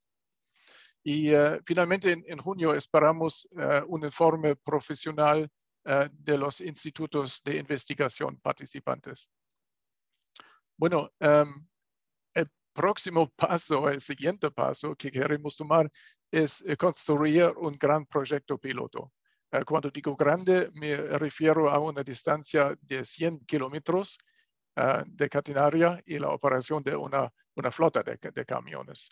En Alemania vemos una buena oportunidad para esto en el contexto de un concepto global para los vehículos comerciales. Nuestro Ministerio Federal de Transportes financia con 4 mil millones de euros la ampliación eh, de las infraestructuras alternativas de recarga y repostaje eh, que son relevantes, incluida el e-highway, así como la compra de vehículos adecuados con otros mil millones de euros. Al mismo tiempo, el Ministerio se coordinará con los países europeos para una expansión armonizada en toda Europa. Eh, creo eso es realmente un señal de esperanza. Eh, desde algunos años existen también acuerdos intergubernamentales entre Francia, Suecia y Alemania para cooperar en innovaciones, entre ellas uh, los sistemas de carreteras eléctricas y entre los que se encuentra el e-highway. Uh, y todos estos, estos uh, acuerdos están a disposición del, del público. Suecia cuenta eh, con varios proyectos finalizados y tiene previsto construir más de 2.000 kilómetros de carreteras eléctricas de aquí a 2030. Y en Francia, un grupo de expertos está investigando esta tecnología um, al momento. Y otros países, países como Gran Bretaña, Países Bajos y Austria también están bien interesados y han encargado estudios de viabilidad. Um, en nuestra opinión, el e puede constituir una columna vertebral de un sistema de transporte de larga distancia nacional y transeuropeo. Uh, no es única solución para esto, tampoco no es ni lo uno ni lo otro, um, depende simplemente del caso del uso. Pero sobre todo, en Europa debemos hacer la transición hacia un transporte de mercancía por carretera con cero emisiones y a un precio económico. Muchas gracias. Gracias, eh, Gerrit. Em, me parece muy, muy interesante vuestro modelo, pero eh, en, materia sostenible a nivel económico, eh, ¿cuál, cuál, sería el punto de equilibrio entre el, coste de una infraestructura, de meter toda la catenaria durante esos 100 kilómetros, eh, y el coste de la cabeza tractora, incluir eh, el enganche a la catenaria del vehículo para que vaya cogiendo electricidad durante esos 100 kilómetros, respecto a un modelo 100% eléctrico o a un modelo de hidrógeno. Ah, bueno, hay hay estudios nacionales uh, demuestran que la instalación de 4.000 kilómetros de catenaria Alemania evita unos 10 millones de toneladas de CO2. Y si hablamos de, este tipo de 4.000 kilómetros, es larga, es aproximadamente un, un tercio de, de red de autopistas alemanas, um, digamos, un, de una inversión del orden de 10.000 a 12.000 millones de euros, uh, lo que sigue eh, siendo más barato que otras soluciones de proporción alternativas. el precio indicativo sería más o menos 2 eh, a 2.5 eh, millones por kilómetro en ambos, ambas direcciones, aproximadamente. Ajá. Ok, muchísimas gracias, eh, Pues con, tu aportación eh, damos por concluida la primera mesa y pasamos eh, a la segunda, en la que eh, os, voy a, presentar a los ponentes, que serán Álvaro Sarriá, director de la División de Transporte del Grupo SSE, Ramón Valdivia, director general de la Asociación de Transporte Internacional por Carretera, ASTIC, y Jaime Baquedano, director comercial de camiones y furgonetas de Mantrack ambos Iberia. Álvaro, cuando quieras, tu turno. Buenos días, ¿se me escucha bien? Sí, perfectamente. Muy bien. Vale, pues muchas gracias por, la invitación a estas jornadas. Yo creo que son muy interesantes.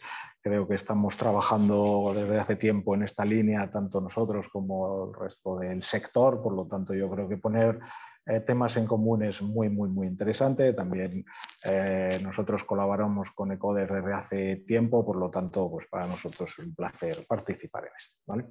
Entonces, eh, nosotros, Grupos S, es un, somos un operador logístico, básicamente con un alto porcentaje de peso en transporte de mercancía por carretera y como hemos oído en estas jornadas, pues bueno, el transporte de mercancía de larga distancia, media distancia, incluso corta distancia, pues genera mucha emisión de CO2, por lo tanto sabemos que tenemos, estamos en un sector que emite mucho CO2 y que tenemos que hacer cosas para, combatirlo, reducirlo, minimizarlo. Llevamos mucho tiempo trabajando en ello, llevamos años. Eh, voy a citar ciertas actividades que tenemos eh, lanzadas desde hace tiempo y que me gustaría compartir con vosotros, ¿vale? Pero lo primero que me gustaría decir también que eh, nosotros tenemos nuestros objetivos de reducción de CO2, nuestros clientes cargadores también tienen esos objetivos de reducción de CO2, pero por otro lado también tienen, tienen y tenemos un eh, objetivo de reducción de costes. ¿vale? Entonces yo creo que es indispensable que encontremos entre todos ese equilibrio entre costes y sostenibilidad sin uno, sin lo otro, difícilmente vamos a poder avanzar. Nosotros lo que queremos, lógicamente, al final es ser, más, ser cada vez más eficientes para poder descarbonizar la actividad más y más cada día. ¿Cuáles son los principales puntos de nuestra estrategia en las que estamos trabajando? Pues bueno, tenemos un Smart Planning, Smart Driving, es un desarrollo propio, es bueno, utilizar nuestra Big Data, la digitalización, para poder conseguir que nuestros camiones en tiempo real tengan la información para que les dé el mejor tipo de conducción en cada momento. Ya no estoy hablando de geolocalización, GPS, sino que también cada vez sea cada vez más eficiente la conducción para que los consumos se vayan reduciendo. Por otro lado, estamos apostando mucho por la intermodalidad desde hace tiempo, combinando ferrocarril, sorsí, cualquier tipo de actividad con la carretera. Yo creo que al final esto es una evolución que va a ir a más y vemos la intermodalidad como un futuro próximo, cercano, en la que cada vez se va a tener que desarrollar y vamos a tener que combinar actividades de ferrocarril, barco, junto con la carretera y el camión. Por otro lado, flota renovada, y yo creo que esto es un tema súper importante. La antigüedad de nuestra flota es 2.4 años y en la media del sector en nacional, según datos del Ministerio, pues está en 12 años. Yo creo que ahí es donde se puede y se debe trabajar, es decir, hasta que lleguen las nuevas alternativas eh, de una forma que las podamos utilizar de una forma mm, razonable, pues mientras tanto yo creo que tenemos que apostar por reducir la flota media española. Yo creo que generaría eso un grandísimo impacto en reducción de CO2. Por otro lado, uso de, vehículos más eficientes, es verdad, lo, fundamental al final es para nosotros transportar más con menos. ¿Qué quiero decir con eso? Pues bueno, aprovechar los semirremolques aligerados, es decir, cada vez poder llevar más mercancía en el mismo conjunto, eh, utilizar y desarrollar los vehículos modulares. Bueno, todos sabemos que los gigatrailers están normalizados y regulados, pero el dúo todavía no acaba de ser regulado. Pues el vehículo modular pues, aporta un 30% de reducción de CO2 aproximadamente, por lo tanto yo creo que es un, un, un elemento que tenemos que priorizar y que tiene que estar ya en la carretera pudiéndolo utilizar con normalidad, cosa que todavía hoy en día no se puede hacer. Dispositivos aerodinámicos y por otro lado, ya por último, pues vehículos alternativos. Nosotros tenemos eh, camiones de gas natural, ya sea comprimido licuado, eh, reducen en torno, pues depende de las mediciones, depende de la cara, pues mínimo un 10% de emisiones de CO2, hasta un 20% que pueda llegar. Yo creo que es una opción a corto plazo que se está utilizando hoy en día, pero que tiene que, no creo que sea la principal a medio largo plazo. Por otro lado, hay potencial con biometano, es decir, de cero emisiones, y somos capaces de que poder utilizar este gas natural como combustible de bio, pues sería cada vez más eficiente en, en cuestión de emisiones. Y por último ya pues los eléctricos, ya sea de pila de combustible y, o, cualquier otro tipo de hidrógeno, apuesta por la larga distancia. Yo creo que tenemos que ver que el eléctrico, el hidrógeno, como se ha ido hablando aquí, yo creo que es el que el medio plazo y el largo plazo el que tenemos que ir desarrollando. Bien, ahora sí me gustaría de cada uno de ellos hablar de como la mesa redonda decía, de las barreras y oportunidades para cada uno de ellos. Eh, me gustaría empezar por el diésel. Eh, los fabricantes ya sabemos que se ha acordado el fin de la producción de 2040. Bien, pero 2040 está lejos. Hoy en día la mayoría de los camiones que están en la carretera son diésel. Por lo tanto, yo creo que en el tema del diésel hay oportunidades y márgenes para reducir las emisiones. Hoy en día yo creo que con seguir investigando en motorización, en combustibles, haría que todos los camiones que hoy en día están en la carretera de diésel cada vez emitieran menos. Eh, lógicamente los de motorización más moderna pues emiten menos, los combustibles también se están desarrollando. Nunca será una alternativa de cero emisiones, pero yo creo que tenemos eh, que seguir investigando, desarrollando para llegar a esas emisiones cada vez menores con respecto a las actuales. Con respecto al gas natural, bueno, pues las oportunidades eh, yo creo que a día de hoy pues tienen potencia, bueno, cuando empezaron tenían menos potencia, hoy en día ya pues, tienen una potencia de 460 caballos, vamos a poner ahí el límite, bueno, yo creo que es razonable, es un combustible algo más barato que el diésel hoy en día, y el biometano, como decía antes, yo creo que es una alternativa de cero emisiones, ¿vale? Por lo tanto, eso sería. ¿Cuáles son desde nuestro punto de vista las barreras para el gas natural? Pues la limitación de autonomía, es decir, que hoy en día pues, los camiones que tenemos de gas pues, tienen un entorno a 500 kilómetros de autonomía, por lo tanto eso es una limitación.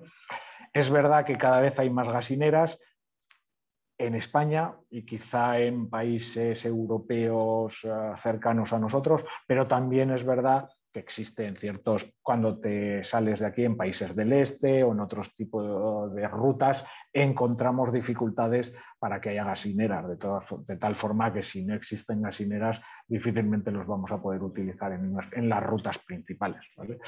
Es verdad que el, precio de adquisición comparado con un diésel hoy en día es bastante superior, por lo tanto, lógicamente, antes hablaba de la eficiencia en el coste, pues ese es un tema fundamental. Hoy en día es más caro el camión de gas que el camión, el camión de diésel.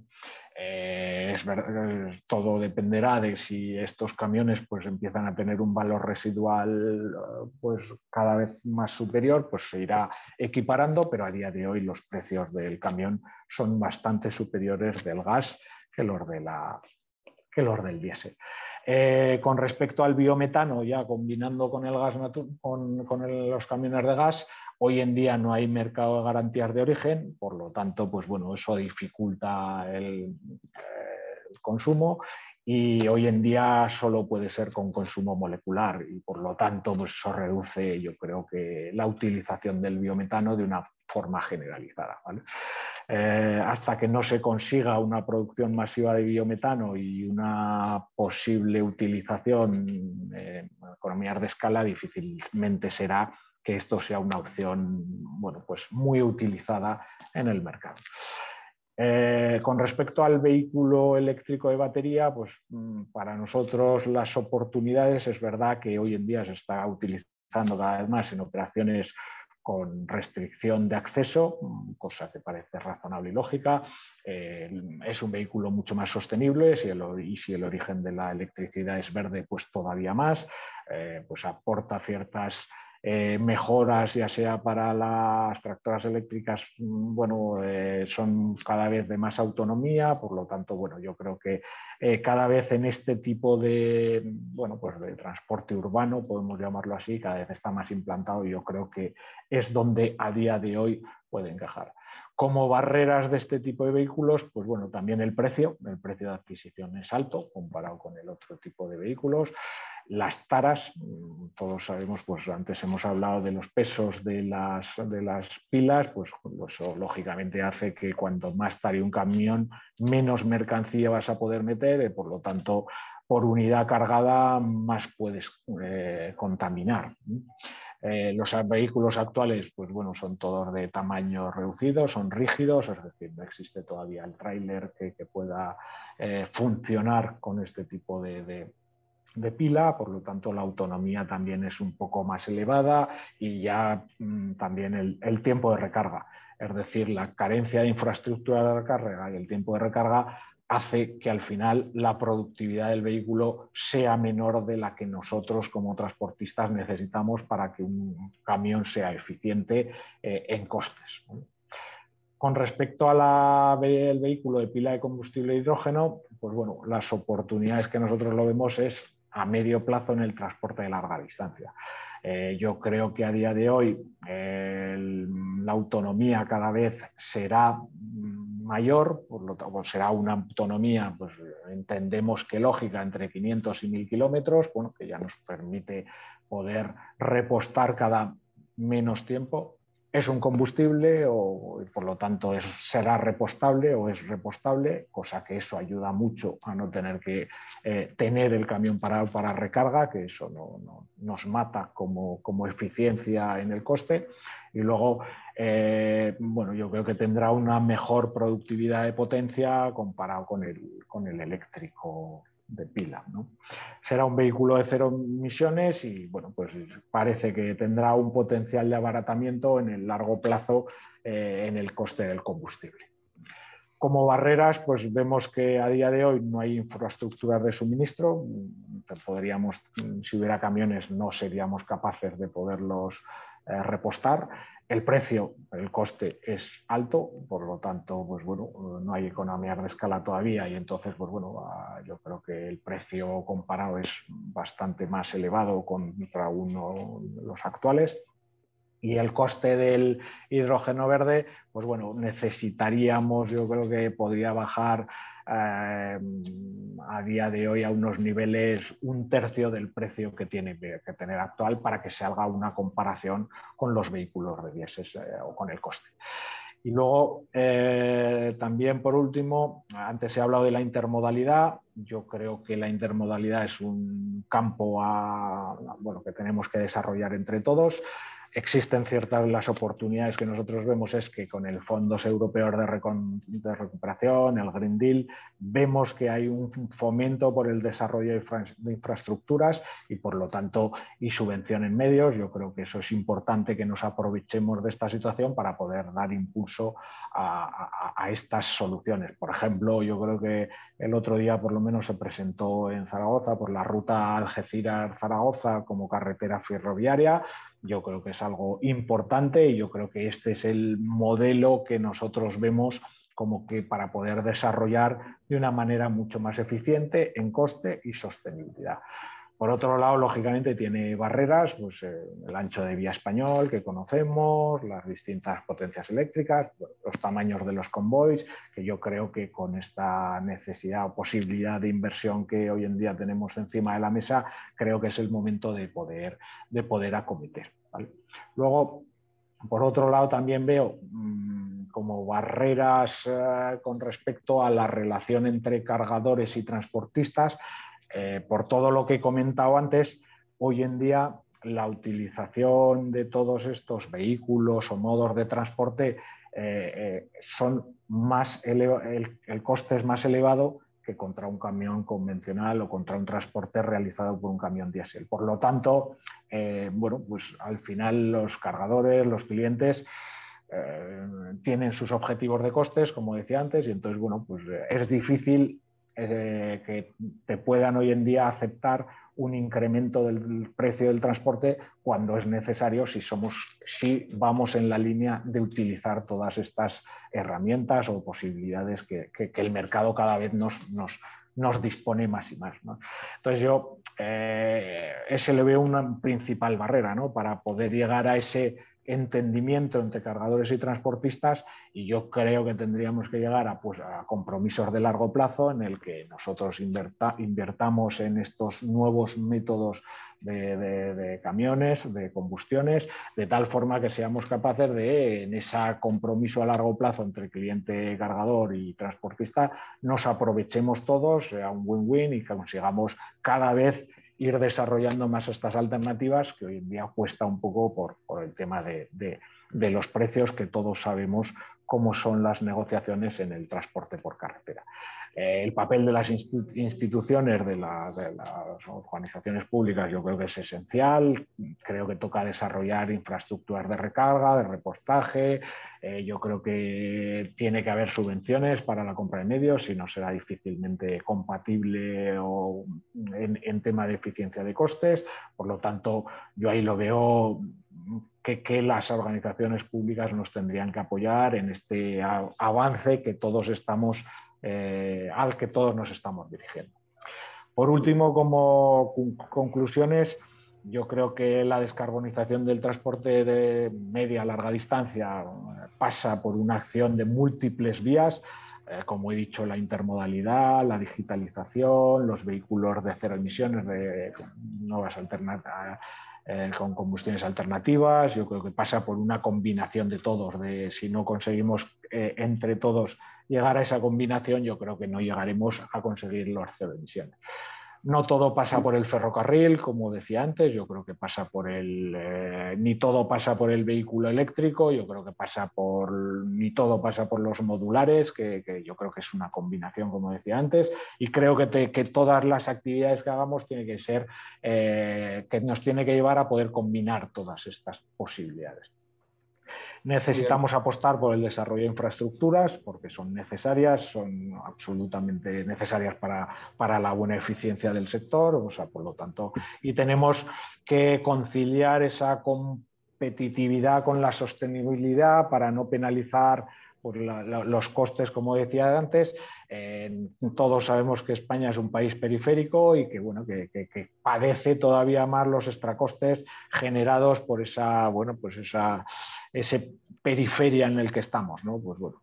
Y los fondos europeos Green Deal yo creo son una oportunidad para hacer una apuesta definitiva por la descarbonización de la economía y por lo, por lo tanto para poder ser líderes en estas nuevas tecnologías verdes que yo creo que, que, podemos y tenemos la capacidad de hacerlo.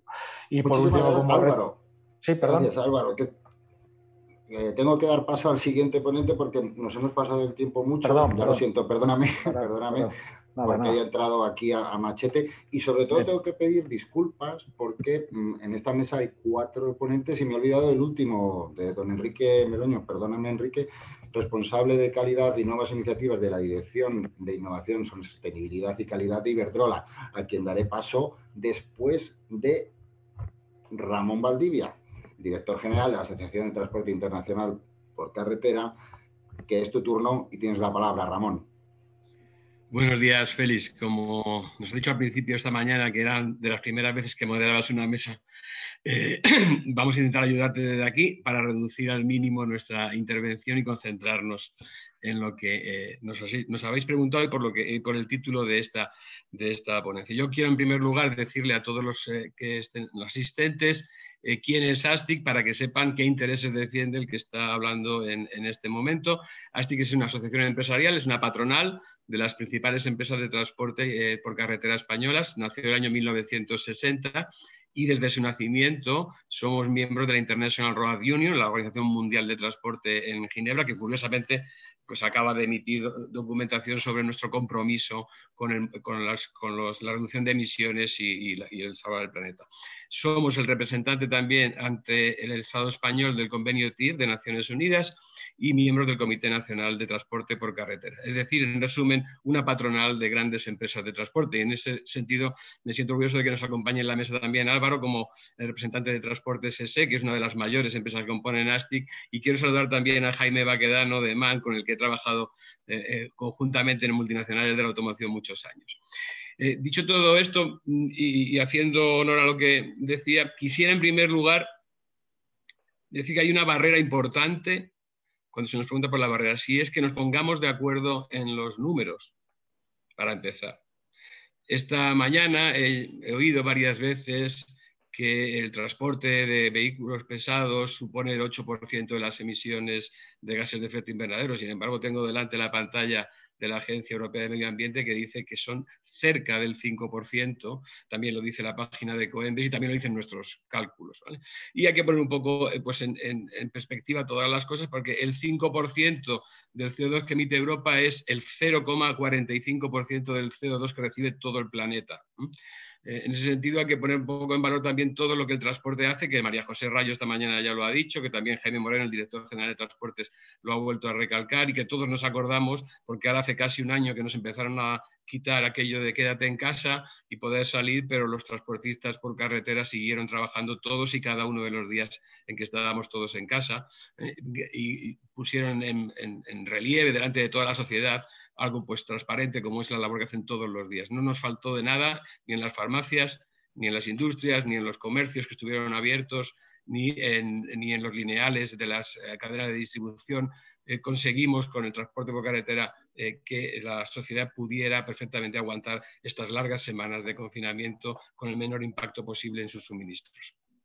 Entonces, damos todo eso, hacemos que funcione el comercio, que funcione la industria, que funcione el turismo. La carretera es el modo preponderantemente elegido por todas las sociedades modernas en cuanto a movimiento de mercancías y, de personas, y todo eso nos está costando que luego tengamos unas emisiones del 4 o del 5% de CO2 en comparación con todo lo que damos. Europa es un continente que tiene menos del 7% de la población, que está en torno al 9% de las emisiones de CO2 mundiales, pero que es el 21% del PIB. Entonces hay que tener en cuenta ese equilibrio de a dónde nos dirigimos para no tener visiones eh, dirigistas o excesivamente cerradas eh, en, relación al transporte por, carretera. Yo le quiero dar las gracias eh, también a la, Fundación Ecología y Desarrollo, a, ECODES y a Transport Environment por darnos voz también desde el punto de vista empresarial. Y por concretar, ¿qué barreras principales veo? Muchas son tecnológicas, no las voy a repetir, ya se han dicho aquí, hay expertos, hay, como digo, pues también fabricantes, ha habido y va a haber todo tipo de, visión de la parte tecnológica, de una energía, de la otra, de la, densidad de energía de este combustible o del otro, etc. pero hay, un tema que tiene que ver con el tamaño, y es el tamaño de las empresas. España es un país que tiene muy, muy, muy fragmentado el tejido empresarial del transporte por carretera. La mitad de las empresas que tienen autorización de transporte de mercancías por carretera en España tienen un solo camión. Si vamos hasta cinco camiones, llegamos al 80% de las empresas. Es decir, solo hay 40 y tantas empresas en España que superen los 50 millones de facturación anual.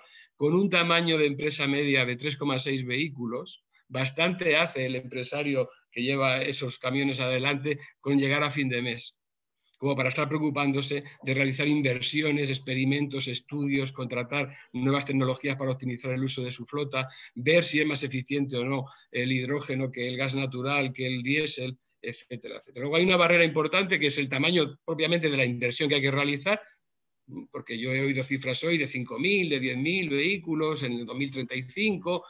El parque de camiones en España ha pasado de los 3 millones y medio.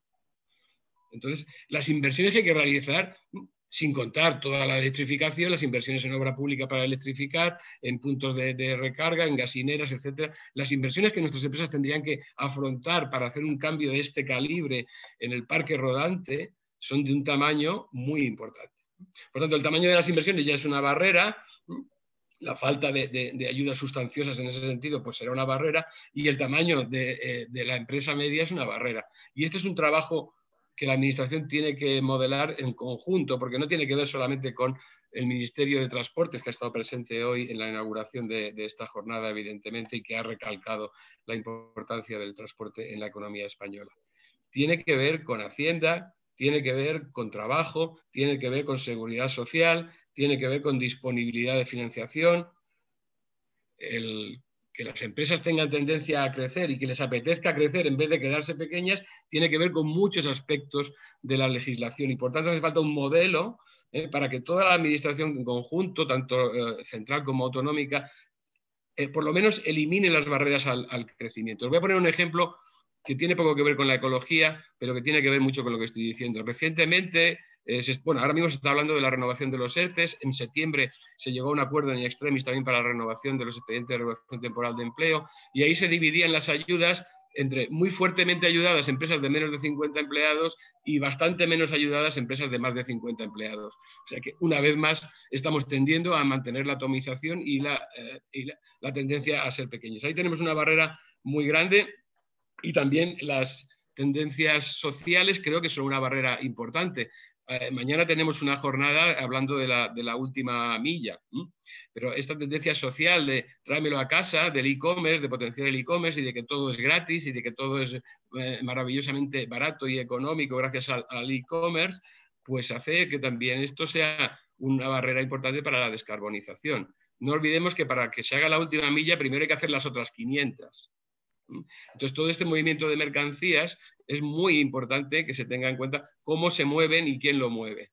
No solamente en las emisiones locales de ciudad, que evidentemente tienen mucho más que ver con óxidos de nitrógeno, con partículas, que con el propio CO2 que es atmosférico para todo el planeta. Las emisiones locales son importantes y por tanto en las ciudades sí es muy interesante ver qué sale por el tubo de escape. Pero cuando se ha dicho que el sector es el único que ha incrementado sus emisiones netas de CO2 en los últimos años, desde los años 90, ciertamente el transporte es así. Pero no es porque los camiones o, la, cantidad unitaria eh, de CO2 emitido haya crecido. En lo que va de, menos de lo que va de siglo, las emisiones de un camión eh, moderno eh, están un 23% más bajos que hace 15 años. Las emisiones de CO2 me refiero porque consume un 23% eh, menos eh, combustible. Unitariamente, por tonelada kilómetro transportada, hemos reducido más de un 20% nuestro impacto. Pero es que la sociedad demanda muchísima más movilidad.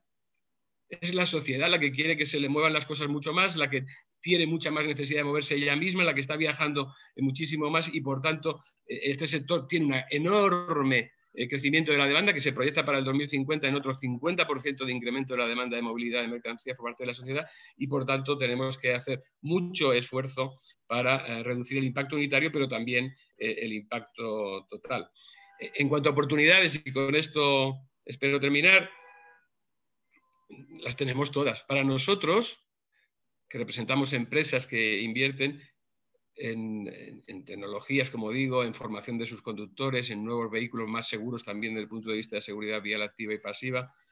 El 33%, un tercio de nuestro coste operativo es la energía, que en estos momentos es al 98% eh, diésel, ¿no? El 33% de nuestro coste es la energía que utilizamos para movernos. Por tanto, tenemos una oportunidad enorme ¿eh? como empresarios que dan eficiencia a la economía española y europea en general, gracias a su, a su actividad, de reducir ese, coste. Claro, habrá que ver en ese aspecto qué piensa la agencia tributaria, porque de ese 33% del coste la mitad son impuestos. Quiere decir que el sector contribuye con más de 10.000 millones solamente en el impuesto especial de hidrocarburos a las arcas del Estado. Si esto súbitamente desapareciese porque todos nos convirtiésemos en eléctricos enchufables, eh, habría que ver si esta reducción del coste, este aumento de la eficiencia eh, operativa de los camiones, más allá de su capacidad de ser fiables y de ser asequibles y de ser producidos en suficiente cantidad, pues puede, puede darnos respuesta. Yo, por terminar, diría, abogaría porque una de las principales barreras genéricas que podemos encontrar para triunfar en la descarbonización, en la, en la, reducción, en la neutralidad de las emisiones de CO2 en el, aspecto del transporte pesado es el dirigismo. Tenemos que huir del dirigismo político, abrirnos a la competencia, a las oportunidades y si un motor de combustión térmica en el 2035 es capaz de ser neutro en emisiones de CO2, ¿por qué lo vamos a, eliminar y a sesgar y a dejar aparte? Vamos a, hacer competir a todo el mundo y olvidemos el dirigismo, porque a principios del siglo pasado seguramente eh, si los gobiernos hubieran aplicado esta técnica de dirigismo, pues eh, no hubieran sabido ver que en pocos años, en 30 o 40 años, la carretera, los motores de combustión y los combustibles líquidos iban a triunfar sobre su famoso eh, ferrocarril que todo, desde entonces todos quieren impulsar. El estar completamente convencidos de cómo va a ser el mundo en el 2050 creo que es una barrera importante. Que nos pongan los objetivos y que nos dejen cumplirlos de la mejor manera que el mercado y los actores sepan hacerlo. Y que no se haga competitivo alguna tecnología por dirigismo a base de eh, masacrar a impuestos a otras tecnologías, a otras eh, eh, funciones, otra de funcionar, perdón, que pueden estar disponibles. que sean de verdad eficientes, que sean de verdad competitivos y no se preocupen que todos los empresarios del transporte van a ir directamente a adquirir y a invertir, sobre todo los que estoy diciendo de ASTIC, que tienen una edad media de menos de 48 meses en su flota, todos van a ir dirigidos a comprar y adquirir y a explotar los vehículos que sean más eficientes y que le den la posibilidad de ser más eficientes también a ellos de cara a sus clientes y a sus empleados.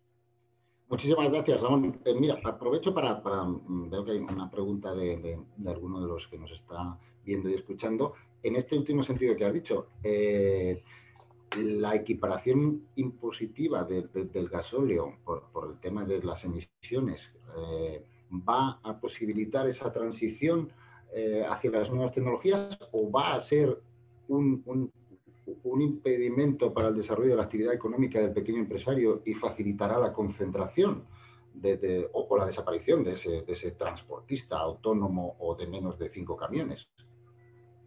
Bueno, en, el tema de impuestos, Félix, cuando se habla de equiparación solemos tener ya la costumbre todos de pensar que no lo van a subir, ¿no? Pero equiparar también puede ser bajar. Pues, eh, si, quieres que se vendan menos coches de diésel y que se vendan más coches de gasolina, por cierto, contrariamente a lo que nos dijiste hace 50 años, señor Administración, porque a lo mejor no pensaste bien la, segunda derivada de lo que iba a pasar, ¿no? Pues también podrías bajar el impuesto a la gasolina para que fuera más tendente el personal a comprarse motores eh, de gasolina. Pero bueno, en términos de eficiencia, la máquina diésel es una máquina de las más eh, avanzadas, eficientes que ha diseñado eh, la ingeniería humana y, bueno, y no sé, quiero poneros una cifra muy, muy chocante. un euro 6 de la última generación no es que emita menos que los coches de cuando estaba el muro de Berlín o de cuando cayeron las Torres Gemelas. Es que hemos reducido las emisiones de óxido de nitrógeno un 98%, es decir, que le queda un 2%. Es todavía más reducción de la que ha apuntado María José Rayo en términos de CO2 para el 2050, ¿no? de las 2 millones de toneladas equivalentes frente a las 87 millones de toneladas equivalentes que emitimos ahora como europeos. ¿no? todavía es más fuerte esta reducción y, por tanto, las máquinas, eh, yo creo que no hay que apartarlas, eh, las tecnologías, quiero decir, que, que, dan lugar a la máquina, no hay que apartarlas por, definición, sino que hay que eh, poner los objetivos, incentivar que se vaya hacia ellos, no penalizando, sino incentivando que se vaya hacia ellos y animando también con, inversiones y con ayudas a los fabricantes y a las redes de distribución energética y a los talleres que nos dan servicio por toda Europa a que también se reconviertan para que podamos seguir siendo ese vector de eficiencia que hace que la gente pueda vivir hoy día donde quiera, porque va a tener los suministros siempre, que las fábricas se puedan instalar en cualquier lugar de Europa y van a tener suministro y van a tener eh, eh, capacidad de exportación. Aquí tenemos un representante de la, de la industria automotriz hoy, el 80% de lo que produce España en, automoción ¿eh? se exporta. Y es el segundo productor de, coches de automoción de, Europa. Es decir, ese vector exportador, ese vector que, le hace llegar las piezas y que, consigue que los coches y los, camiones estén puestos en los concesionarios por toda Europa, eso se llama transporte por carretera y eso se llama eh, que cuanto más eficiente sea, mejor para la capacidad exportadora y para la economía española. Por tanto, si se habla de equiparar impuestos, pues efectivamente podría ser una ayuda importante eh, para, hacer, para dirigir, las agencias tributarias al final dirigen hacia dónde va el consumo, como ya pasó, como decía, con los motores diésel en el pasado. Muchísimas gracias, Ramón. Eh, ahora, pues pasamos el turno precisamente a un fabricante de, vehículos, como es eh, don Enrique Meroño, responsable de calidad de nuevas iniciativas de, o sea, perdón, Jaime Baquedano, director comercial de camiones y furgonetas, perdón, Jaime. Gracias, Félix. perdóname, perdóname. Gracias. Voy a intentar ser muy, muy sintético. Yo me engancho muy bien con el mensaje que ha dado Ramón Valdivia. Eh, yo creo que fabricantes y, transportistas estamos muy alineados y me gustaría ir, ir mostrando cuáles son las limitaciones que nosotros vemos y los hándicaps que nosotros vemos para la descarbonización. Eh, nosotros como compañía vemos el futuro eléctrico, lo vemos eléctrico, es decir, la tracción será eléctrica, pero al diésel le queda muchísima, muchísima vida. Eh, nosotros lo que queremos es llegar a la situación en la que un vehículo de, cadena cinemática alternativa al diésel tenga un coste total de explotación eh, igual o inferior al, diésel. Y eso, eso nos lo va a ir trayendo eh, la, la, tecnología, el adelanto de la tecnología. Entonces, nosotros lo que tenemos que hacer es dividir el problema en pequeños trozos porque el problema entero no somos capaces de digerirlo. Eh, y el hándicap viene ahí exactamente. ¿Por qué hay que dividir en pequeños trozos? Porque los recursos son limitados por definición. Nosotros como fabricantes tenemos los recursos muy limitados y no podemos entrar en todas las tecnologías. Entonces tenemos que decidir en qué invertimos. Nosotros como grupo hemos decidido invertir en el vehículo eléctrico y mayoritariamente en el eléctrico por baterías, lo que pensamos es que igualmente hay que dividir el transporte en dos, en dos tipos de transporte. Tenemos el transporte de distribución y el transporte de larga distancia. En el transporte de distribución, nosotros vemos que el eléctrico de baterías va a ser una realidad estándar de serie probablemente en 2024. En 2024 tengamos vehículos pesados de distribución en carretera de serie, es decir, cualquier cliente que vaya a un concesionario podrá adquirir un vehículo pesado eléctrico movido por baterías. De hecho, ya estamos empezando a movernos. La semana pasada hemos, empezado, hemos entregado el primer vehículo pesado eléctrico de baterías a una cadena de supermercados, Alimerca en este caso. Eh, lo ha estado probando, le cuadra y le facilita el trabajo. Es decir, su costo total de, operación, incluido el coste de oportunidad, porque si no, no hubiera podido hacerla. La distribución es superior, o sea, es inferior al del diésel. En este caso, con diésel no hubiera podido realizar el trabajo. Entonces, hay que empezar a trabajar no solamente, sobre todo ahora que las, las ciudades empiezan a cortar y empiezan a cortar entrada. En la distribución hay que trabajar no solamente con el costo total de, explotación, sino también con el coste de oportunidad. Entonces nosotros en distribución vemos eléctrico, medio plazo, 2024 está a la vuelta de la esquina, ya, las empresas empezamos a hacer el presupuesto 2022, entonces, está aquí ya. La distribución en furgonetas es una realidad eléctrica, es una realidad desde hace ya años. Tenemos un 12,6% de cuota de mercado en eléctricas, cualquier cliente podría comprar una eléctrica, pero en pesados, eso, vemos el 2024. ¿Qué pasará en, pesados en larga distancia? Pues en larga distancia eh, seguimos pensando que mayoritariamente será eléctrico por batería, y, pero nosotros también estamos invirtiendo en hidrógeno. Pensamos que el hidrógeno, la, teoría que tenemos ahora es que será un vector de transición, que el eléctrico de batería será lo que, lo que circule en el año 2030 o 40.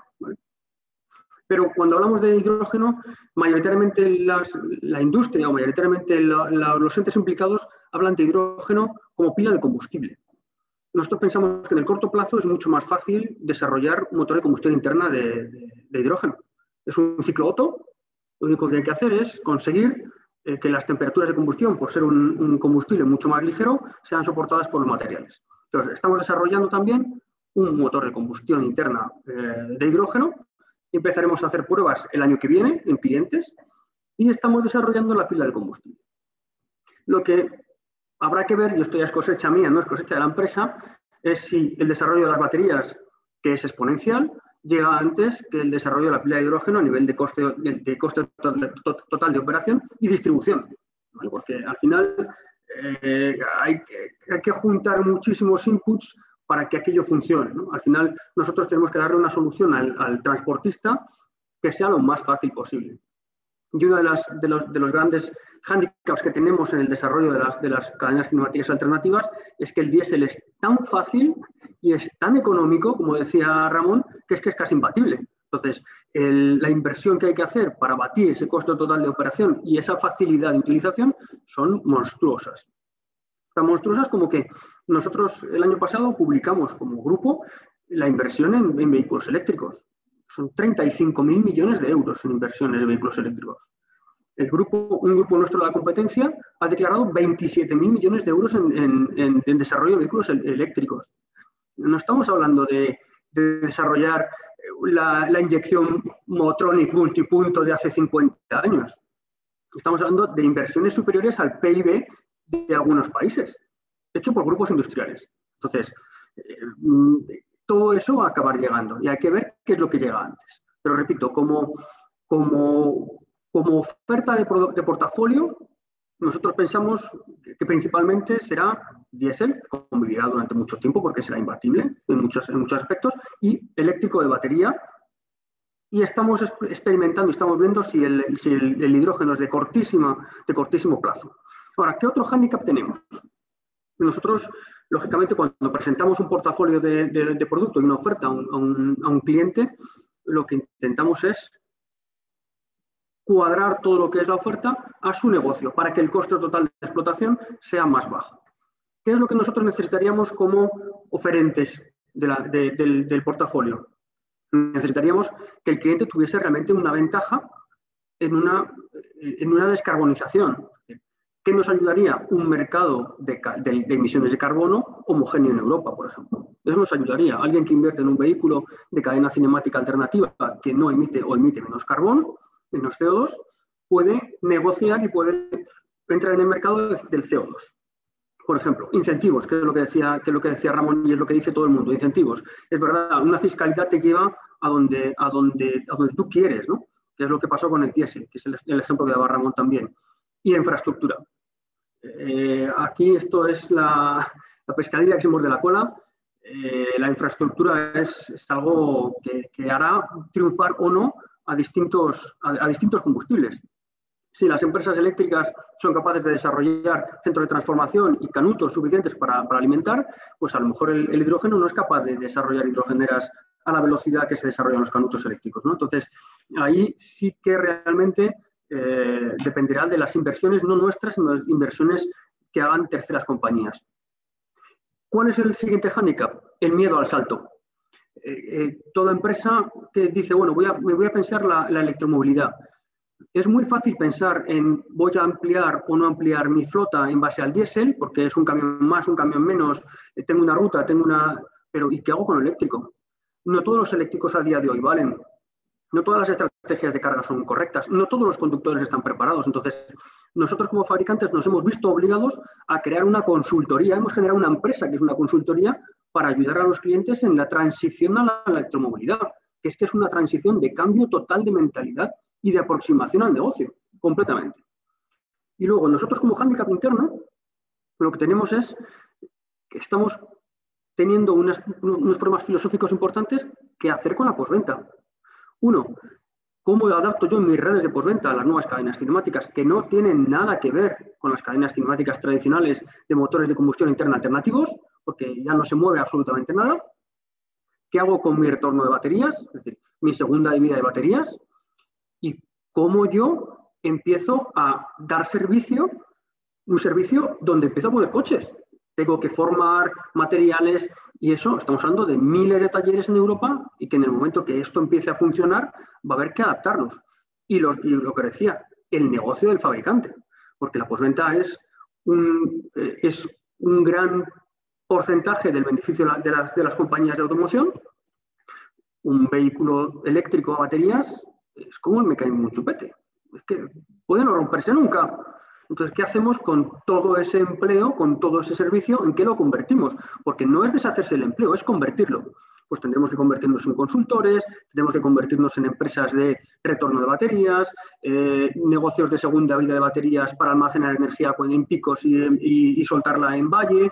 Ese tipo de negocio, de modelo de negocio que nosotros, a la vez que nos fuerza la normativa a invertir en eléctrico porque el motor diésel ya no da más de sí, o, por lo menos no da más de sí al ritmo que nos pide la normativa, nosotros tenemos a la vez que repensarnos nuestro modelo de negocio.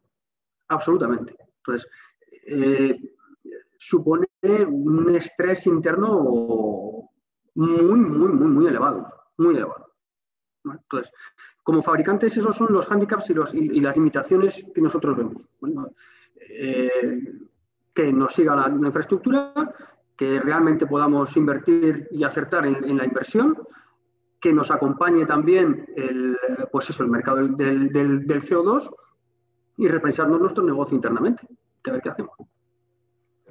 Muy bien, Jaime. Eh, pues eh, mira, voy a aprovechar una pregunta que nos hacen también eh, los que nos están viendo, porque tú has hablado de que estáis invirtiendo o apostáis por el eléctrico puro eh, y también estáis eh, mm, desarrollando pilotos con hidrógeno. Entonces, hay una pregunta que va directamente ahí, que es eh, en el modelo de baterías, que si sería viable en el transporte de muy larga distancia, si afectaría la carga útil y sobre todo cómo se, cómo, cómo se encajaría con los remolques frigoríficos, que si sería viable, ¿no? Nos preguntan.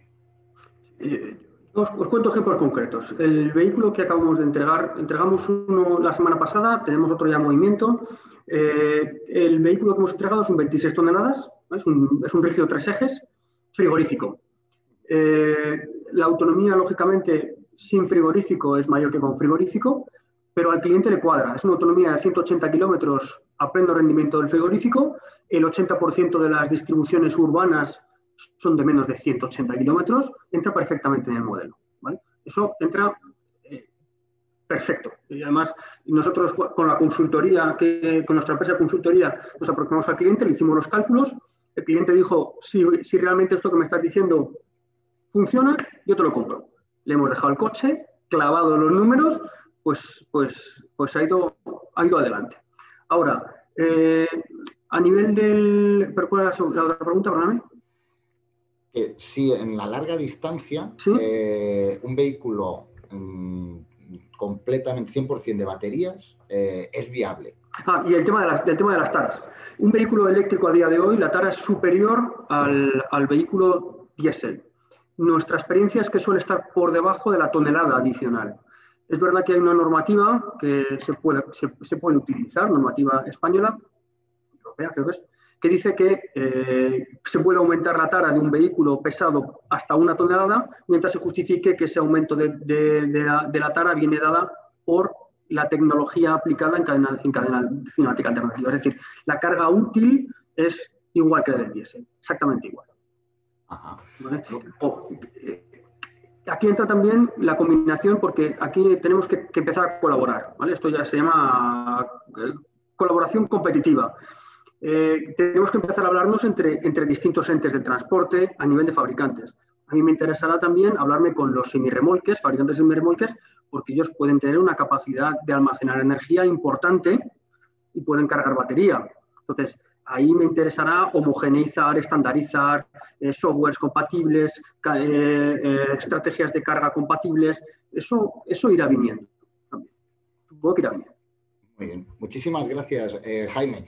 Y por último, eh, le doy paso a Enrique, que si me permites, voy a decir de nuevo tu, cargo porque, y, reiterar las disculpas por, haberme olvidado de ti, que eres responsable de calidad y nuevas iniciativas de la Dirección de Innovación, Sostenibilidad y Calidad de Iberdrola. Enrique, cuando quieras. Muchas gracias, Félix. Ningún problema, faltaría más. Eh, eh, os agradezco muchísimo la invitación para estar aquí y soy perfectamente consciente de que vamos mal de tiempo. Entonces, como vamos mal de tiempo, voy a hacer un decidido esfuerzo en ser muy sintético e intentar trasladar eh, nuestras ideas lo más rápido posible y con poquitos mensajes. El, primer punto importante que yo querría recalcar eh, es que nosotros, efectivamente, hace 10 años nunca nos hubierais visto una mesa de este tipo. Entonces, eh, el sector de transporte efectivamente está cambiando mucho y estamos apareciendo nuevos actores como empresas como, nosotros, empresas eléctricas, ¿no? que no somos empresas que tradicionalmente están unidos a, este tipo de sector.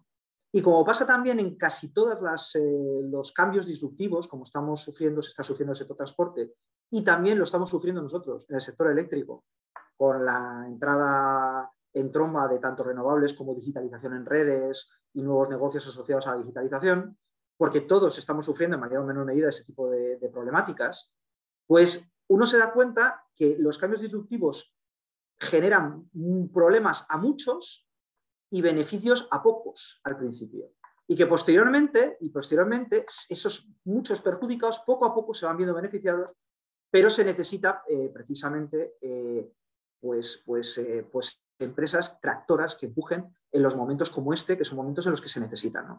Una de esas empresas tractoras somos nosotros, y estamos firmemente dispuestos a apoyar, apoyar. Y como bien se sabe, nosotros estamos haciendo proyectos tanto relacionados con vehículos, eh, camiones eh, de baterías, eh, como también camiones de hidrógeno.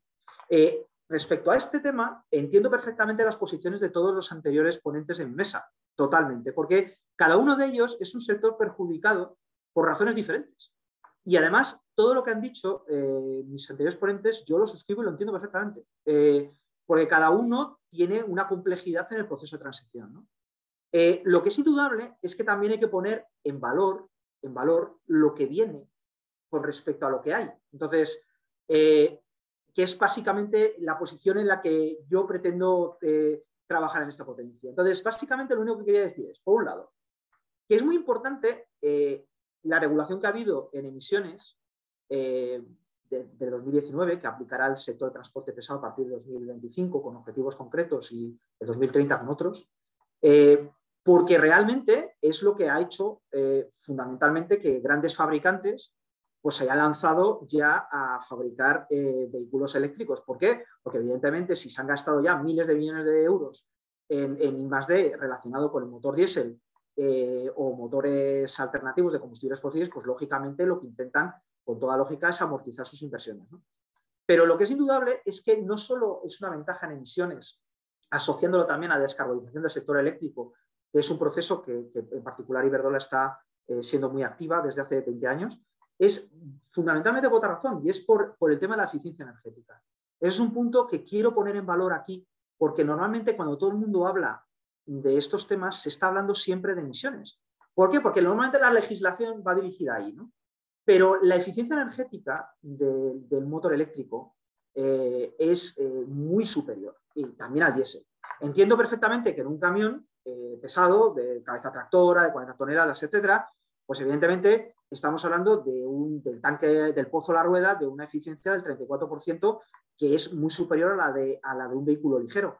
Pero es que un vehículo eléctrico con el mix de generación del 2019 tiene un 50% de, eficiencia y puede llegar hasta un 77% en el caso que fuera 100% renovable. Eh, con esto, eh, lo, que lo que me pueden decir eh, ustedes es decir, bueno, sí, perfecto.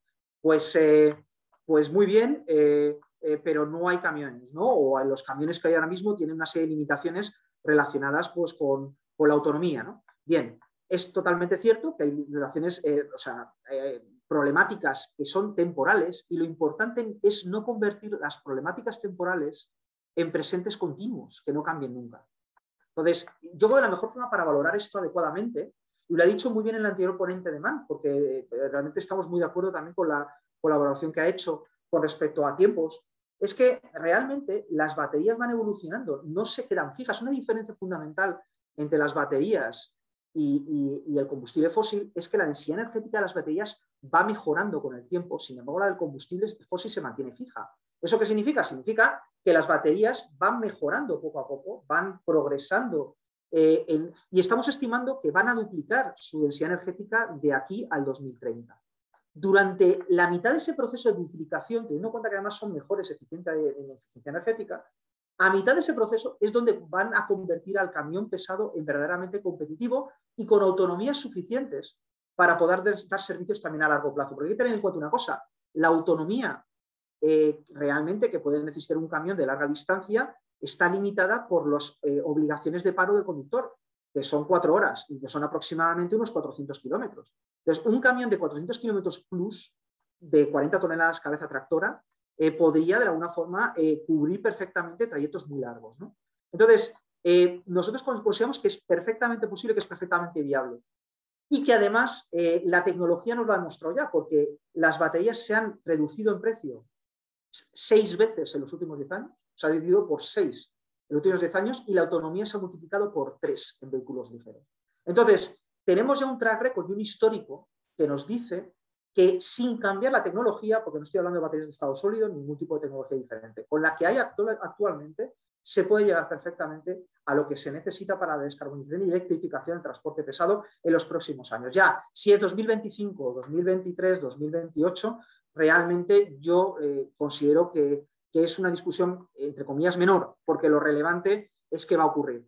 Ahora bien, evidentemente somos perfectamente conscientes de que hay que ayudar al sector en el tránsito y que si no se le ayuda tanto al sector de los fabricantes como al sector de operadores logísticos, esto tardará más en darse, en, llevar a ese lugar. O sea, por lo tanto, nosotros tenemos, de hecho, tenemos, vamos, decidido interés en participar en ello. Y ya para terminar, lo que, lo que de alguna forma eh, nosotros queríamos trasladar, eh, porque, quiero decir, es, importante entender que eh, un camión a diferencia de un, vehículo ligero, la importancia del, coste de adquisición es menor que la importancia del coste de combustible. A centrar en la parte de infraestructura de recarga. Entonces, eh, en esa parte, nosotros consideramos que la infraestructura de recarga de un, y el precio de la energía eléctrica puede ser un factor que acelere, que acelere la transición porque es, puede ser mucho más competitivo que el, de, el del diésel o que el de gas natural, por ejemplo. Entonces, ahí es donde, por ejemplo, si comparamos un 5% de CAPEX, que puede ser la adquisición de un camión, con un 30% de coste de combustible, abaratar el coste de combustible puede hacer que lleguemos a un coste total de propiedad competitivo antes de que el precio de adquisición sea igual que el del diésel, que no esperemos que se llegue ni siquiera en el 2030. Nosotros esperamos que en el 2030, en teoría, un, un camión de cabeza tractora eléctrico de 40 toneladas esté eh, aproximadamente un 30% más caro en cuanto a coste de adquisición todavía que el, de, que el, diésel. E insisto, son estimaciones nuestras. Aquí hay un fabricante, tampoco pretendo en ningún caso poner eh, palabras de los demás en mi boca, pero nuestra estimación es esa. Y con esto nada más. No quiero alargarme mucho más y quiero agradecer mucho la, la disponibilidad y, la posibilidad de poder aportar también nuestro granito de arena en esta discusión. Gracias. Eh, muchísimas gracias, Enrique. Solo una pregunta que, que, me parece muy interesante lo que has dicho.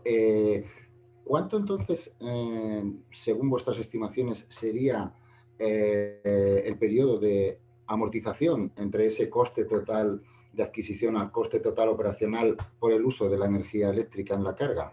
y en la instalación del punto de recarga. Claro, eh, eh, claro porque el, punto, el, tema es ese, ¿no? No es lo mismo en un camión de distribución que en un camión de, larga distancia, porque en un camión de larga distancia normalmente se va a necesitar puntos de recarga de aproximadamente un megavatio eh, para poder recargar en tránsito en esas paradas de oportunidad de cada cuatro horas y eso encarece ligeramente el, el, coste total de propiedad. Pero nosotros aproximadamente, porque aquí lo tengo, es el, impacto de la parte de combustible eh, está en, bueno, pues en el entorno de un, eh, pues quizás de un 20% del total del coste total de, propiedad, incorporando, por supuesto, el, punto de recarga. En, una, en, un camión de distribución, eh, eso sería ligeramente menor. Sería, estaría pues, en torno al 15% más o menos, 10% según nuestros números, 15% más probablemente. Pero entre el 15 y el 20, entre el 15 y el 20, el 15 y el 25%, podría estar eh, los costes relacionados con, la parte de infraestructura y venta de energía. Pero claro, son estimados porque también depende mucho del tipo de, logística del operador. Es que no es lo mismo una logística 24 por 7 que una logística puntual de viajes concretos de, corta distancia a una logística de larga distancia. Entonces, claro, hay que entender también que hay una variabilidad muy importante y que hay que estudiar también cada caso en, en particular. ¿no? Pues eh, muchísimas gracias, Enrique. Sí, ahí hay que hacer un trabajo de consultoría, como bien decía Jaime, desde, MAN. Eh, bueno, pues eh, nos, hemos, nos hemos quedado sin tiempo para, para, realizar las preguntas. Nos hemos consumido el tiempo de la jornada. En cualquier caso, he intentado ir introduciendo vuestras preguntas que habéis hecho a través del, chat a los diferentes ponentes. A mí solo me queda darle las gracias a todos ellos, los que han participado, y a todos vosotros por, estar ahí viéndonos, y, realizar una, breve conclusión, que es que lo que yo creo es que estamos en el, comienzo de, un, de un trayecto de largo recorrido, me da la sensación, sobre todo a la hora de poner en común tanto a las administraciones públicas de los diferentes ministerios implicados, como bien eh, se ha dicho hoy, ya sea movilidad transporte, ya sea transición económica, la propia economía y, eh, como no, Hacienda, más las eh, empresas logísticas, las empresas fabricantes de, las asociaciones de pequeños autónomos, el ecosistema de los operadores energéticos, tanto ya sea mm, los operadores típicos de petróleo como eh, las propias eh, operadoras eléctricas, como, como, es el caso de Iberdrola. Queda un amplio camino por, recorrer, pero creo que lo, bueno es que aprovechando los, eh, los Next Generation de la Unión Europea más el Green Deal, y sobre todo si se produce una transición ordenada, de, en el que no haya un dirigismo político, como bien habéis dicho, una transición ordenada me refiero en el que sea el mercado y los diferentes eh, combustibles y propulsiones alternativas para lograr cada vez menos eh, las cero emisiones eh, en el transporte y bajar esos, ese 10% de emisiones que en teoría mm, es eh, causada por el transporte en carretera, pues llegaremos al objetivo de 2030 cumpliendo con creces, en un, además en un sector que es muy flexible y que se adapta rápidamente a los cambios. Eh, sin más, eh, yo solo tengo que, recordaros que mm, podéis volver a ver esta, esta, esta, sesión en la página web de CODES y en nuestro canal de YouTube a lo largo del día. Y si mañana quieres asistir a la segunda, a la segunda jornada, que irá sobre zona de bajas emisiones, muy interesante, que entra en vigor eh, a partir del 1 de enero de 2023 en las eh, ciudades de más de 50.000 habitantes o de 20.000 habitantes si tienen problemas de calidad del aire. Y también transporte por carretera, la última milla, del que algo hemos tocado, pero mañana seguro que, que, que, se, se tratará mucho más en profundidad, dado el auge del comercio electrónico tras la pandemia, pues eh, no dudes en inscribirte. Muchísimas gracias a todos, ponentes, administración pública y sobre todo a vosotros por escucharnos y vernos. Gracias. Muchas gracias.